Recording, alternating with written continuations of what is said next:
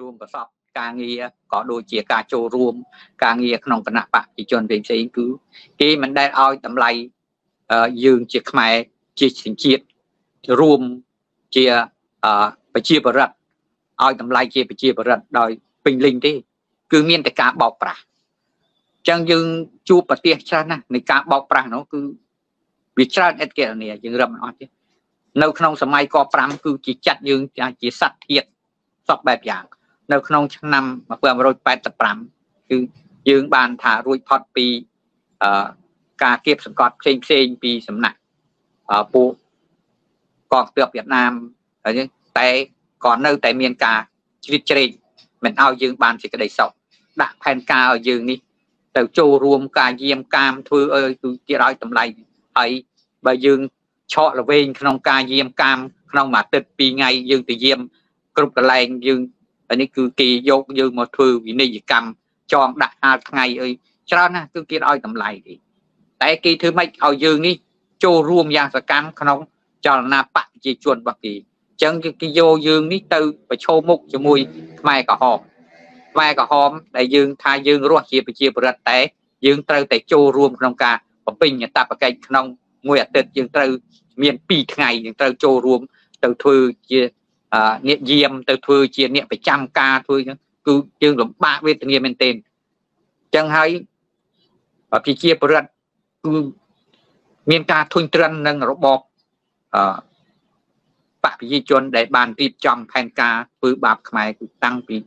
ទសវត្សរ៍ឆ្នាំ79មករហូតដល់ខ្មែររត់នីលទីរត់ចេញការធ្វើបាបទុកធ្វើទុកបុកម្នេញដាក់យើងជាតបកិច្ច យោធាដេញចាប់សាហានផងអុយផងគ្មានពេលវេលាណា បានរស់នៅជាមួយក្រុមគ្រួសារទេគឺយកយើងទៅធ្វើជាចំណាប់ខ្មាំងយកយើងធ្វើជាផែនការអតបកិច្ចច្រើនណាស់ដែលយើងបើយើងមិនមានលទ្ធភាពក្នុងការបង់លុយ 2G ក្នុងមួយខែទេយើងអត់អាចរស់ជាប្រជាប្រដ្ឋបានទេយើងរស់ជាអ្នកបម្រើបកប្រជាជនទៅវិញបើយើងមាន 2G ក្នុងមួយខែយើងអាចបង់ឲ្យគេទៅ យើងរស់នៅរស់ទីជុំជួបជុំគ្រួសារព្រួលហើយគេ351ចាំចិនយួនគេរស់អត់ប្របាទេ តែខ្មែរយើងទេដូចខ្ញុំនេះគឺប្រពន្ធបងឲ្យគេមួយខែ 2G បានយើងអាចនៅជានេះរហូតដល់ខ្ញុំត្រឹមបានក៏ចូលបម្រើក្នុងអនុភូមិដើម្បីធ្វើម៉េចដោះស្រាយបញ្ហានេះឲ្យបានគឺចឹងហើយយើងចូលជាអនុភូមិទៅយើងទៅកែនកម្លាំងឲ្យគណៈបព្វជិជនទៀតកែនគេក្នុងមួយអាទិត្យគឺយើងត្រូវធ្វើម៉េចរោមនុស្ស 4នាក់ទៅសម្រាប់ចូលយាមនៅទីតាំងណាមួយដែលគេចាញ់គេប្រើអញ្ចឹងគឺពិបាកវេទនាណាស់ហើយសំឡេងអំពាវនាវរបស់មាតុភូមិគេគឺយើងស្ដាប់ទៅបរោះណាស់ពេលម៉ោង4ល្ងាចឡើងគឺសំឡេងពាវនាវរបស់មាតុភូមិកម្ពុជាសូមបងប្អូនខ្មែរជនវិញផ្លូវទាំងអស់ចូលរួមក្នុងរដ្ឋាភិបាលដើម្បីរំដោះប្រទេសជាតិចេញពីចក្រពត្តិនិយមណាចេញពីបនបល័យពូជសាសនាគឺគេធ្វើហើយគេឲ្យយើងនេះចូលរួមទៅបិទ ដុតរូបទីងមងមានរូបសៀនុមានរូបប៉ុលពតមានរូបសឿនសានមានរូបច្រើនណាដែលដែលគេឲ្យយើងទៅដុតក្នុងបនខួបម្ដងម្ដងគឺយើងត្រូវតែទៅចូលរួមដុតដុតរូបដុតទីងមងបើយើងមិនចូលរួមទេគឺយើងនេះគេដាក់យើងនេះជាអ្នកប្រឆាំងនឹងការងាររបស់រណសីបដិវត្តរំដោះជាតិ ឯណាគេច្រើនណាស់ដែលគេចាត់ប្រកាន់យើងចឹងហើយមួយមួយគឺវិទ្យាណាហើយគេមិនដែលឲ្យតម្លៃយើងឲ្យរស់បានសុខស្រួលជួបជុំគ្រួសារទេបើយើងគ្មានលុយកាក់បង់ឲ្យគេទេគឺយើងគឺត្រូវតែបំពេញក្នុងមួយអាទិត្យគឺយើងត្រូវតែទៅបំពេញបើយើងមិនទៅទេគឺគេយកយើងទៅដាក់ទរណកម្មដាក់ក្នុងលូលូបន្លាលូនោះមានលូបន្លាចឹងហើយគឺវេទនាដែលខ្ញុំរស់នៅចឹងបានខ្ញុំសុខចិត្ត ចូលទៅក្នុងអនុភូមិទៅខ្ញុំនឹងដកឃ្លាបំរើការគេរោតកម្លាំងឲ្យគេទៅខ្ញុំវាអាចរស់នៅក្នុងនោះស្រួលបាទអញ្ចឹងបានយើងវិវេទនាហើយសម្លេងពីវនាមាតុភូមិនេះគឺអ្នកដែលចោកចូលខ្មែរក្រហមដែលផ្ដាច់ខ្លួនខ្មែរតស៊ូក្នុងជំរំដែលផ្ដាច់ខ្លួនចេញមកគឺគេចោះគេដាក់ឈ្មោះជាអជន់បង្កប់មួយអញ្ចឹងមានសភាពកើគឺគេចាប់យកធ្វើទរណកម្មហើយគេកែនពួកនោះឯងឲ្យទៅវាយពលពតវិញ ចឹងអាគ្នាគិតពីទាហានហើយកែគ្នាទៅវិញបើមិនទៅទេគឺគេមានផែនការធ្វើទរណកម្មបាទគេចាប់ដាក់គុកគេយកទៅសម្លាប់អត់ដឹងណាណីទេហើយសប្តាហ៍ថ្ងៃនេះគឺអស់លលីងហើយដោយផុនភាពដោយអីដោយប្រមុខមួយ9 11ដែលចោះចូលទាំងអង្គភាពមកគឺបាត់ខ្លួនទាំងអស់អញ្ចឹងហើយសប្ថ្ងៃគឺនៅដដែលនៅតែដដែលគឺគេយកក្រុមសំរងស៊ីនេះមកទាក់ក្រុមសំរងស៊ីហើយឲ្យបណ្រើគេទៀត គឺនេះឯងត្រូវតែដើរគៀងគោដើរដូចសប្ថ្ងៃដូចអឺក្រុមដែលគេធ្វើរាល់ថ្ងៃនេះគឺនៅដូចគ្នាពីមុនដែរបាទនេះបច្ចុប្បន្នហើយគឺបន្ថោកតម្លៃមនុស្សណាបន្ថោកតម្លៃយកលុយទៅទិញក្បាលមនុស្សហើយយកមនុស្សនោះមកប្រើដូចគេថាគេចង់ខចង់អាំងចង់ស្ងោមអីដូចសុអេសាននិយាយគឺអត់ខុសទេបាទនៅក្នុងសម័យចាប់ពី80ដល់5រហូតដល់ឆ្នាំ90រហូតមកទល់ឥឡូវគឺ នៅតែដដែលកិនតែដូររូបភាពគៀងគោពីយោធាតទូតាមជាដែនមកជាអ្នកនយោបាយអ្នកនយោបាយទាំងអស់គឺហ៊ុនសែនទិញទិញក្បាលយកមកនេះរហូតខ្លះនៅដល់ទៅបរទេសហើយនៅតែមកក្រាបសំពះហ៊ុនសែនធ្វើដូចយើងនោះជាជាព្រះអាទិទេពមួយអញ្ចឹងគឺបន្ថោកតម្លៃខ្មែរខ្លាំងមែនទែនណាហើយសកម្មភាពនេះណាដែលធ្វើបង្ហាញអន្តរជាតិបំបំផ្លាញកិត្តិយសខ្មែរណាគឺ ហ៊ុនសែនមិនដែលលើកស្ទួយកិត្តិយសខ្មែរជាពលរដ្ឋរស់នៅនេះគឺជាអ្នកបំរើដាច់ថ្លៃរបស់ប្រជាជនបើនេះឯងមិនធ្វើទេគឺត្រូវតែមានបញ្ហាជាប់គុកសម្រាប់ចោលសម្រាប់ក្រៅច្បាប់ក៏មានវ័យតបបុកជលមានជាប្រចាំអានឹងគឺយើងបានជួបប្រទេសច្រើនណាស់ចឹងបញ្ហាដែលតាំងពីសម្លេងពីវនាមាតុភូមិមកមកដល់សប្តាហ៍នេះយករលកទៀករលកគឺស្ថានភាពនៅដដែលហើយអក្រិតកម្មក្រៅប្រព័ន្ធគឺនៅដដែល ការកាប់សម្រាប់ចាប់ដាក់គុកគឺនៅដដែលដូចសម័យឆ្នាំ79រហូតទល់មកគឺយើងការរស់នៅនេះស៊ីមរៀបមិនមិនខុសពី500នាក់ទេដែលត្រូវសម្លាប់ក្នុងសម័យឆ្នាំ82 83រហូតដល់មិនមែនតែអ្នកដែលចោះចូលពីជាដែនខ្មែរក្រហមអីទេគឺសម្លេងពីវនេះទោះបីជា នៅថ្មីថ្មីនេះសម័យសង្គ្រោះជាតិហើយនេះគឺហ៊ុនសែនមានការឆោបបោកទៀត ឯងរត់រោខ្យល់អីអាណាទៅធ្វើបាបឯងគ្មានទោសពីរទេសូមរត់ចូលចុះមកនៅក្នុងក្រុមគូសាជួបជុំវិញទៅគេគ្មានដាក់ទោសដាក់ពីរទេគេលុបចោលហើយតែទៅគឺត្រូវតែចូលគុកទាំងអស់បាទមើលដូចគេវិសាលដូចអ្នកស្រីច្រើនណាស់នៅកំពង់ស្ពឺធ្វើបាបគាត់តែគាត់ថាថាខ្លួនលើកលែងទោសហើយគ្មានឲ្យជាពាក្យពាន់រឿងចោតប្រកាន់អីលុបចោលទាំងអស់ហើយគឺស្ម័គ្រចិត្តទៅវិញគឺហ៊ុនសែនចាប់ដាក់គុកថា គៀងត្រីឲ្យចូលទ្រង់ហើយចាប់កាច់កអញពេលណាក៏បានអានេះសម្ដីហ៊ុនសែនគឺគ្មានគិតតែរឿងច្បាប់ទម្លាប់ការរស់នៅនោះហើយការនិយាយផ្សព្វផ្សាយអំពីសារបែកធ្លាយនោះគឺកុំជឿគឺហ៊ុនសែននេះបញ្ចេញបញ្ចេញគម្រាមមកមិនឲ្យខ្មែរនេះងើបរួយទេមិនឲ្យខ្មែរនេះតស៊ូលើការរស់នៅគោរពច្បាប់ជាតិគោរពសិទ្ធិមនុស្សគោរពឲ្យមានលទ្ធិជាតិថៃសម្រាប់ខ្មែរ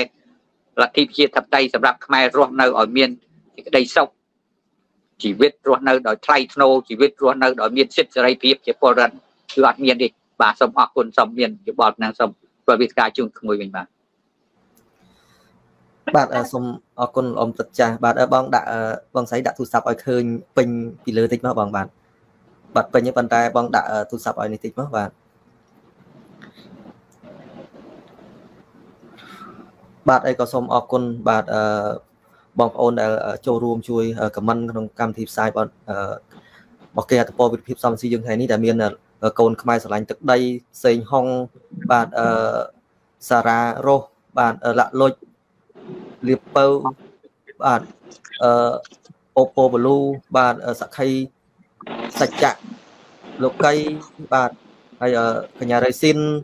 មាសធូនីបាទសូមអរគុណបាទអីក៏អញ្ចឹងងាកមកបងស្រី ប៉ែនមុំវិញបាទ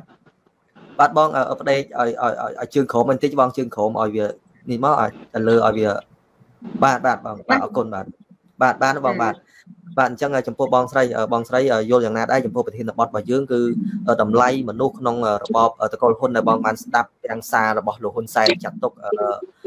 អ្នកដែលចោះចូលឬក៏តម្លៃនៃប្រជាពលរដ្ឋដែលចោះចូលជាមួយនឹងគណៈបព្វជិជនជាសត្វលលោកហើយលោកសុកអេសាននេះ ចាត់ទុកជាសត្វត្រីបាទគេចង់សម្លាប់គេចង់ស្ងោគេចង់អាំងជៀនពេលណាក៏បានដែរចំពោះបងឃើញតម្លៃមនុស្សក្នុងរបបតកលហ៊ុនមានតម្លៃយ៉ាងណាដែរបងបាទសូមជិញបងចាសូមអរគុណបងអូនប្រុសនិងសូមអរគុណកតិចាដែលមានមតិយោបល់យ៉ាងល្អល្អចាអឺចំពោះខ្ញុំទស្សនៈតខ្លួនរបស់នាងខ្ញុំអឺខ្ញុំមើលឃើញការដឹកនាំរបស់របបសពថ្ងៃនេះគាត់មិនដែលឲ្យតម្លៃប្រជាពលរដ្ឋដែលជាម្ចាស់ឆ្នោតទេចា ម្ចាស់ឆ្នោតគាត់បោះឆ្នោតជូនដល់អ្នកតំណាងរាស្ត្ររបស់គាត់ដើម្បីឲ្យដឹងពីសុខទុក្ខនិងការលំបាករបស់ប្រជាពលរដ្ឋប៉ុន្តែសារនយោបាយរបស់មេដឹកនាំក៏ចូលចិត្តប្រើតែពាក្យប្រមាថមើងងាយចាត់ទុកសម្រាប់ឆ្នោតប្រជាពលរដ្ឋហ្នឹងជាសត្វត្រីឬក៏ជាសត្វរលកចាខ្ញុំជឿជាក់ថាអង្គើល្អនឹងនៅឈ្នះនឹងឈ្នះអង្គើអាក្រក់ចាប្រជាពលរដ្ឋគាត់យល់ដឹងហើយនឹងគាត់តាមដានអ្នកនយោបាយខ្លាំងណាស់ សំខាន់ពេលណាដល់ពេលវេលាមួយគាត់នឹងបោះឆ្នោតដូរដោយសាររាល់ថ្ងៃការបោះឆ្នោតរបស់គាត់រៀបចំជាប្រព័ន្ធអញ្ចឹងពេលចិត្តដែលគណៈបកនយោបាយណាដែលខ្លាំងហើយរឹងមាំគាត់នឹងកំទេចគេនេះហើយជាភាពចង់ឈ្នះរបៀបផ្ដាច់ការរបស់គាត់ណាហើយរបបសពថ្ងៃនេះគាត់ចាត់ទុកអ្នកប្រឆាំងគឺជាសត្រូវនៅប្រទេសប្រជាធិបតេយ្យពិតប្រាកដគេមិនដែលចាត់ទុកអ្នកប្រឆាំងជាអ្នក ជាជាគូសត្រូវទេចាគឺគេតែងតែចាត់ទុកជាអ្នករិះគន់ដើម្បីថាបនាព្រោះមានតែអ្នកដែលប្រឆាំងអ្នកដែល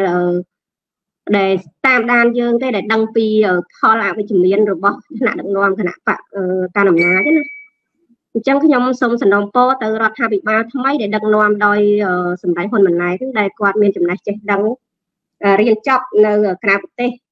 ព្រោះថាឪពុកគាត់គាត់សល់ពីសម័យប៉ុលពតដឹកនាំរបៀបកុម្មុយនីស អញ្ចឹងខ្ញុំសូមឲ្យរដ្ឋាភិបាលថ្មីដែលជាអ្នករៀនសូត្រចេះដឹងនឹងសូម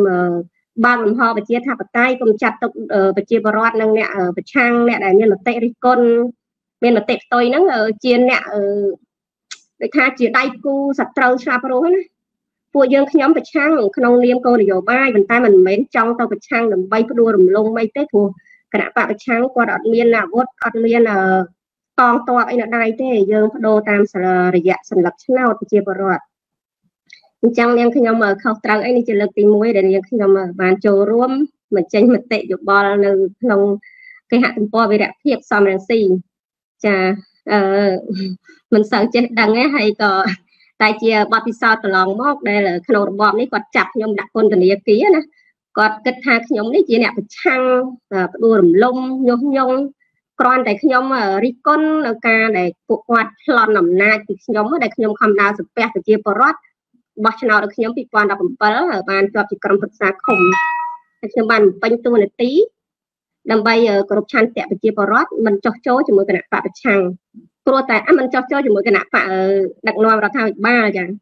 ព្រោះគាត់ចាត់ទុកពួកយើងជារលកចឹងហើយបានជាខ្ញុំមិនចូលណាព្រោះរលកនៅក្នុងទ្រុងរបស់គេពេលណាដែលគេប្រើយើងរងាវឬក៏តាក់អឺ ជាធ្នាក់តាក់មិនបានតែឯងតែគេត្រូវគេកាប់គេឆ្លោយដោយសុកអេសានគាត់និយាយនោះព្រោះសុកអេសានគាត់និយាយត្រូវហើយយើងមិនអាចខឹងគាត់ព្រោះគាត់ជាសេកជាអ្នកនាំពាក្យអញ្ចឹងគាត់គាត់ថាពួកយើងនៅក្នុងទ្រុងនៅក្នុងរបបសពថ្ងៃនេះបើយើងមិនធ្វើអ្វីតាមគោលនយោបាយគណៈបកប្រជាជនគេនឹងកាប់ឆ្លោហើយព្រោះយើងជាត្រីនៅក្នុងទ្រុងយើងមិនអាចហែលទៅឆ្ងាយទេអញ្ចឹងសូមបងប្អូនដែលនៅក្រៅប្រទេសហើយនឹងនៅក្នុងប្រទេសកុំអអន់សុពន្ធចិត្តនឹងបងប្អូនដែលនៅក្រៅប្រទេស មានតែត្រេកអរដែលពួកខ្ញុំរស់នៅក្រៅប្រទេសអាចបញ្ចេញមតិយោបល់ជូនប្រជាពលរដ្ឋបានចានេះខ្ញុំមានមតិតែប៉ុណ្្នឹងទេដោយសារខុសត្រូវអីជាលើកដំបូងចាសូមអរគុណបងប្រុសនិងសូមអរគុណចាស់ព្រឹទ្ធាចារ្យទាំងអស់ចា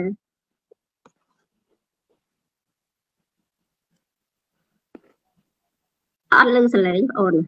បងបើកសលេងនេះបាទសំទោសបាទ ហើយក៏សូមអរគុណប្រិមិត្តយើងគឺដែលមានលោកចន្ទថនកំពង់ចាមកំពង់ចិត្តបាទបុផាភ្នែកទឹកអាលក្ខថ្មគោលបាទសូមអរគុណបាទដែលបានចូលរួមជួយទស្សនាជួយជួយខមមិនក្នុងកម្មវិធីផ្សាយរបស់គេហទំព័រវិទ្យាភាពសំស៊ីយើងបាទផ្សាយជារៀងរាល់ថ្ងៃហើយក៏សូមក៏សូមឲ្យប្រិមិត្តទាំងអស់បើមានការលើសលុះខ្វះខាតអីអាចនឹងខមមិនរិះគន់ក្នុងន័យស្ថាបនាបានបាទសូមអរគុណអញ្ចឹងដោយលោកអំព្រឹទ្ធចានិងបងស្រីបានលើកឡើងហើយថាក្នុង រដ្ឋាភិបាលរបស់លោកហ៊ុនសែននិងលោកហ៊ុនម៉ាណែតគឺមិនដែលចាត់ទុកឬក៏ឲ្យតម្លៃរបស់ប្រជាពលរដ្ឋគឺស្មើនឹងមនុស្សនោះទេព្រោះអីគេការគ្រប់គ្រងរបស់គេគឺការគ្រប់គ្រងបែបដណ្ដើមអំណាចបាទបើសិនជាឲ្យតម្លៃមនុស្សបាទនៅក្នុងរដ្ឋាភិបាលរបស់គេគឺស្មើស្មើគ្នានោះគឺគេអត់អាចគ្រប់គ្រងបាទអំណាចបន្តទៀតបាននោះទេដោយសារតែប្រជាពលរដ្ឋគឺគាត់យល់ដឹងអំពីច្បាប់គាត់យល់ដឹងអំពីការទៀមទាបាទបែបលទ្ធិប្រជាធិបតេយ្យបាទ ដូច្នេះហើយគឺគេតែងតែគ្រប់គ្រងអំណាចតាមរបបផ្ដាច់ការគឺការគម្រាមកំហែងការចាប់ចងការសម្លាប់រហូតដល់បច្ចុប្បន្ននេះគេបែរជាយកប្រព័ន្ធតឡាការយកទៅគម្រាមកំហែងបាទប្រជាពលរដ្ឋគម្រាមកំហែងដល់អ្នកប្រជាធិបតេយ្យអ្នកណាហ៊ានចេញមុខការពារផលប្រយោជន៍របស់ប្រទេសជាតិការពារផលប្រយោជន៍របស់ប្រជាពលរដ្ឋគឺអ្នកនោះហើយជាសត្រូវរបស់គេដោយពុកម៉ែបងប្អូនជនរួមជាតិបានឃើញហើយថ្មីថ្មីដែលមានការចាប់ចងទៅលើ យុវជនមេដាធម្មជាតិដែលហ៊ានលះបង់គ្រប់បែបយ៉ាងដើម្បីបបប្រហែតជាតិនិងលះបង់គ្រប់យ៉ាងដើម្បីការពារធនធានធម្មជាតិបាទរហូតដល់ព្រះសង្ឃបាទដែលព្រះអង្គទៅសូត្រធម៌បាទអឺដើម្បីឲ្យបាទប្រជាពលរដ្ឋឬក៏ប្រជាពលប្រជាពលរដ្ឋទាំងឡាយចូលរួមបនសពបាទរំលឹកខួបការបាញ់សម្លាប់លោកបណ្ឌិតកែមលីនោះត្រូវបានរដ្ឋាភិបាលប្រាប់ទៅ ចៅអធិការវត្តបាទតម្រៃសនោះឲ្យដេញព្រះអង្គឲ្យចេញពីវត្តទៅទៀតនោះនេះហើយគឺជោគវាសនាឬក៏បាទវាសនារបស់ប្រជាពលរដ្ឋខ្មែរយើងដែលរស់នៅក្រោមដំបូលសន្តិភាពរបស់លោកហ៊ុនសែននិងលោកហ៊ុនម៉ាណែតគឺមានតែការរងទុក្ខរងទុក្ខបាទគ្មានការស្រាក់សានោះទេរីឯសុខសន្តិភាពគឺមិនមាននោះទេព្រោះអីបច្ចុប្បន្ននេះ សូមបីតែភ្ញៀវទេសចរក៏គេអត់ហ៊ានមកលេងនៅក្នុងប្រទេសកម្ពុជាយើងនេះដោយសារតែការគម្រាមកំហែងការប្រព្រឹត្តបទល្មើសចោលលួចចោលឆក់ចោលប្លន់ការបាញ់សម្លាប់បាទនៅក្នុងប្រទេសកម្ពុជាយើងច្រើនមែនទែនបាទបើសិនជាការដឹកនាំរបស់លោកហ៊ុនសែននិងលោកហ៊ុនម៉ាណែតគឺដឹកនាំទៅតាមបែបលទ្ធិប្រជាធិបតេយ្យបាទបើកលំហលទ្ធិប្រជាធិបតេយ្យបាទគោរពសិទ្ធិមនុស្សនោះខ្ញុំជឿថាគ្មានអ្នកប្រឆាំងទេបាទហើយការអភិវឌ្ឍប្រទេសជាតិកម្ពុជា ប្រជាយើងនេះគឺការអភិវឌ្ឍដល់ពិតប្រកបមិនមែនការអភិវឌ្ឍដល់ទឹកភ្នែកការអភិវឌ្ឍកម្លាំងយោឈាមរបស់ប្រជាពលរដ្ឋឬក៏កេងប្រវ័ញ្ចប្រជាពលរដ្ឋបាទគឺគ្មានការប្រឆាំងទេមានតែការសប្បាយចិត្តនិងការចូលរួមកសាងជាតិទាំងអស់គ្នាតែផ្ទុយទៅវិញបច្ចុប្បន្ននេះការកសាងជាតិនោះគឺជាការកសាងដោយទឹកភ្នែកគឺការរឹបអូសទ្រព្យសម្បត្តិរបស់ប្រជាពលរដ្ឋការកេងប្រវ័ញ្ចបាទយើងឃើញហើយហេដ្ឋារចនាសម្ព័ន្ធដូចជាស្ពានផ្លូវថ្នល់ វត្តអារាមសាលារៀនអីចឹងគឺការអភិវឌ្ឍនោះគឺគ្មានដោយពិតប្រកបទេគឺជាការដែលបោកប្រាស់ប្រជាពលរដ្ឋយើងឃើញហើយថាផ្លូវធ្វើឆាផុតបានមួយខែពីរខែគឺខូចតែម្ដងបាទពិសេសគឺរដូវនេះគឺជារដូវខែភ្លៀងបាទអឺអត់មានស្ពានឆ្លងកាត់ទេខ្ញុំឃើញការផុសវីដេអូមួយគឺមានសិស្សសាលានៅតែឆ្លងកាត់ទឹកផ្លូវលិចអត់មានស្ពាននឹងមានឆ្លងកាត់តាមទូកទៅទៀតបាទអញ្ចឹងងាកមកលោកអ៊ំព្រឹទ្ធចាបាទចំពោះលោកអ៊ំព្រឹទ្ធចាថាគិតថា របបលោកហ៊ុនម៉ាណែតបច្ចុប្បន្ននេះអាចនឹងមានការកែប្រែឲ្យល្អជាងឪពុកគាត់ដែរទេបាទលោកអ៊ំបាទបាទលោកអ៊ំសូមបើកមុខផងអ៊ំបាទអរគុណច្រើនសូមឆ្លើយសំណួរមួយក្នុងក្នុងប្រធានបទរបស់យើងការរស់នៅរបស់ខ្ញុំគឺខ្ញុំអត់មានសង្ឃឹមថាហ៊ុនម៉ាណែតនេះនឹងកែសម្រួលនឹងកែសេដ្ឋកិច្ចរៀបចំសេដ្ឋកិច្ចប្រទេសដើម្បីឲ្យខ្មែរបានរស់នៅក្នុង ប្រទេសដើម្បីសេចក្តីសុខសាន្តដើម្បីសិទ្ធិសេរីភាពនិងជាម្ចាស់ប្រទេសទេខ្ញុំអត់មានសង្ឃឹមទេពីព្រោះម៉េចយើងមើលមិនមែនអានេះខ្ញុំសូមបញ្ជាក់ទៅក្រោយវិញថាចាមចិនយួនគេជាប់តតាបកិច្ចជា351គេអត់ទៅពលកម្មគេនៅផ្សារលក់ដូររ៉ូស៊ីជុំកូនប្រពន្ធគេអត់មានរបួសដាច់ដាច់ដាច់ជើងទេសម័យឆ្នាំ80រហូតដល់ឆ្នាំ90អីនេះគឺគេសុខសប្បាយណាស់ពីព្រោះម៉េចគេរើសយកតែខ្មែរទេដែលទៅក5 ទៅធ្វើជាតបកិច្ចទាហានទៅបំពេញផែនការឲ្យប្រជាជន បើនេះឯងមិនធ្វើទៅតាមផែនការបប្រជាជនទេគេនឹងធ្វើវិនិយោកម្មយើងគេយកទៅធ្វើទរណកម្មនៅកន្លែងយោធានៅកន្លែងណាក៏ដោយពីរហូតដល់គេយកទៅដាក់គុកថាយើងនេះមិនអនុវត្តតាមបតបកិច្ចដែលបកកំណត់អញ្ចឹងបានយើងងាកទៅវិញថាខ្មែរដែលរងគ្រោះដាច់ដៃដាច់ជើងច្រើនណាស់តែ ជនជាតិចិនជនជាតិយួនចាមឲ្យគេអត់មានបញ្ហាគេរស់នៅសុខសប្បាយអានេះជាផែនការមួយ ទី2ហ៊ុនម៉ាណែតនេះដែលមានបំណងធំបំផុតគឺអត់រៀបចំសេដ្ឋកិច្ចក្នុងប្រទេសទេបង្កើតតែសេដ្ឋកិច្ចចារកម្មសេដ្ឋកិច្ចពួកម៉ាហ្វីយ៉ាបោកប្រាស់ទោះបីជានេះគឺគាត់បង្កើតក្រុមអង្គការ1500នាក់ធ្វើសកម្មភាពបោកប្រាស់សពថ្ងៃដែលគាត់ចាប់ យុវជនក្មេងៗដែលគាត់តស៊ូក្នុងការលះបង់បំពេញបំជាយុវជនបំរើវិស័យប្រទេសជាតិដឹងឮពីសង្គមយ៉ាងម៉េចយ៉ាងម៉េចគឺគាត់ត្រូវចាប់ដាក់គុកពីព្រោះមិនចោតថាក្បត់ជាតិដូចតែគ្នាពីមុនណាអ្នកណាដែលមានគំនិតស្នេហាជាតិមិនដិតពិតប្រកបគឺគេបាញ់សម្លាប់ចោលបើមិនដិតចេះបោកប្រាស់ចេះសម្លាប់ ខ្មែរគឺមិនដិតនោះឡើងជាអុកញ៉ាសប្ថ្ងៃក្រុមអុកញ៉ាគឺជាគៀតកជាទីតកបំផ្លាញជាតិគៀតកដែលគេរៀបចំទុកថាត្រូវតែសម្លាប់បាទសម្លាប់ខ្មែរតាមគ្រប់រូបភាពបើកឡានបុកងឹបជាក្រុមជាក្រុមហើយហ៊ុនម៉ាណែតនេះដែលអត់រៀបចំសេដ្ឋកិច្ចឲ្យប្រជាពលរដ្ឋអាចរស់នៅក្នុងប្រទេសបានគឺមានបំណងមួយធំធំណាគឺធ្វើម៉េចឲ្យខ្មែរនេះរត់ចេញពីប្រទេសខ្លួនឯង ពីការហូបចុកមិនគ្រប់យើងមើលដូចគេថាសេដ្ឋកិច្ចជាតិឡើងលំដាប់ទី1នៅនៅក្នុងអាស៊ីនៅក្នុងអាស៊ានលំដាប់លេខ3នៅក្នុងអាស៊ីយើងមើលសង្ហបុរីប្រទេសគេក្រណាស់រោតទឹកផឹកអត់បានរោតទឹកមួយអត់បានគេនៅលើថ្មរហូតដល់គេអាចមានលទ្ធភាពពលរដ្ឋគេមួយនេះ គេអាចរលួយបានពី80000ដុល្លារទៅ100000ដុល្លារក្នុងមួយឆ្នាំហើយខ្មែរយើងនេះក្នុងមួយឆ្នាំ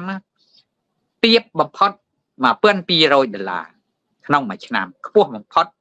1500ដុល្លារទៅលើព័ត៌មានរបស់ GP GP របស់ធនាគារពិភពលោកដែលគេផ្សាយអញ្ចឹងមិនបានហ៊ុនម៉ាណែតនេះមិនរៀបចំសេដ្ឋកិច្ចសេដ្ឋកិច្ចទេសចរគឺលេខ1សេដ្ឋកិច្ច អំណោយផលឲ្យធម្មជាតិលេខ1 4ខេត្តដែលបានប្រគល់ឲ្យយួនកាលថ្ងៃទី12នេះ4ខេត្តនោះណាក្នុងមួយឆ្នាំអាចផលិតមាសបានដល់ទៅ10តោនដែលជាមាសមាសគីឡូស្រាច់អញ្ចឹងបានយួនគេហក់ស្ទុះមកធ្វើអឺទឹកដីសហព័ន្ធឥណ្ឌូចិនរបស់គេអ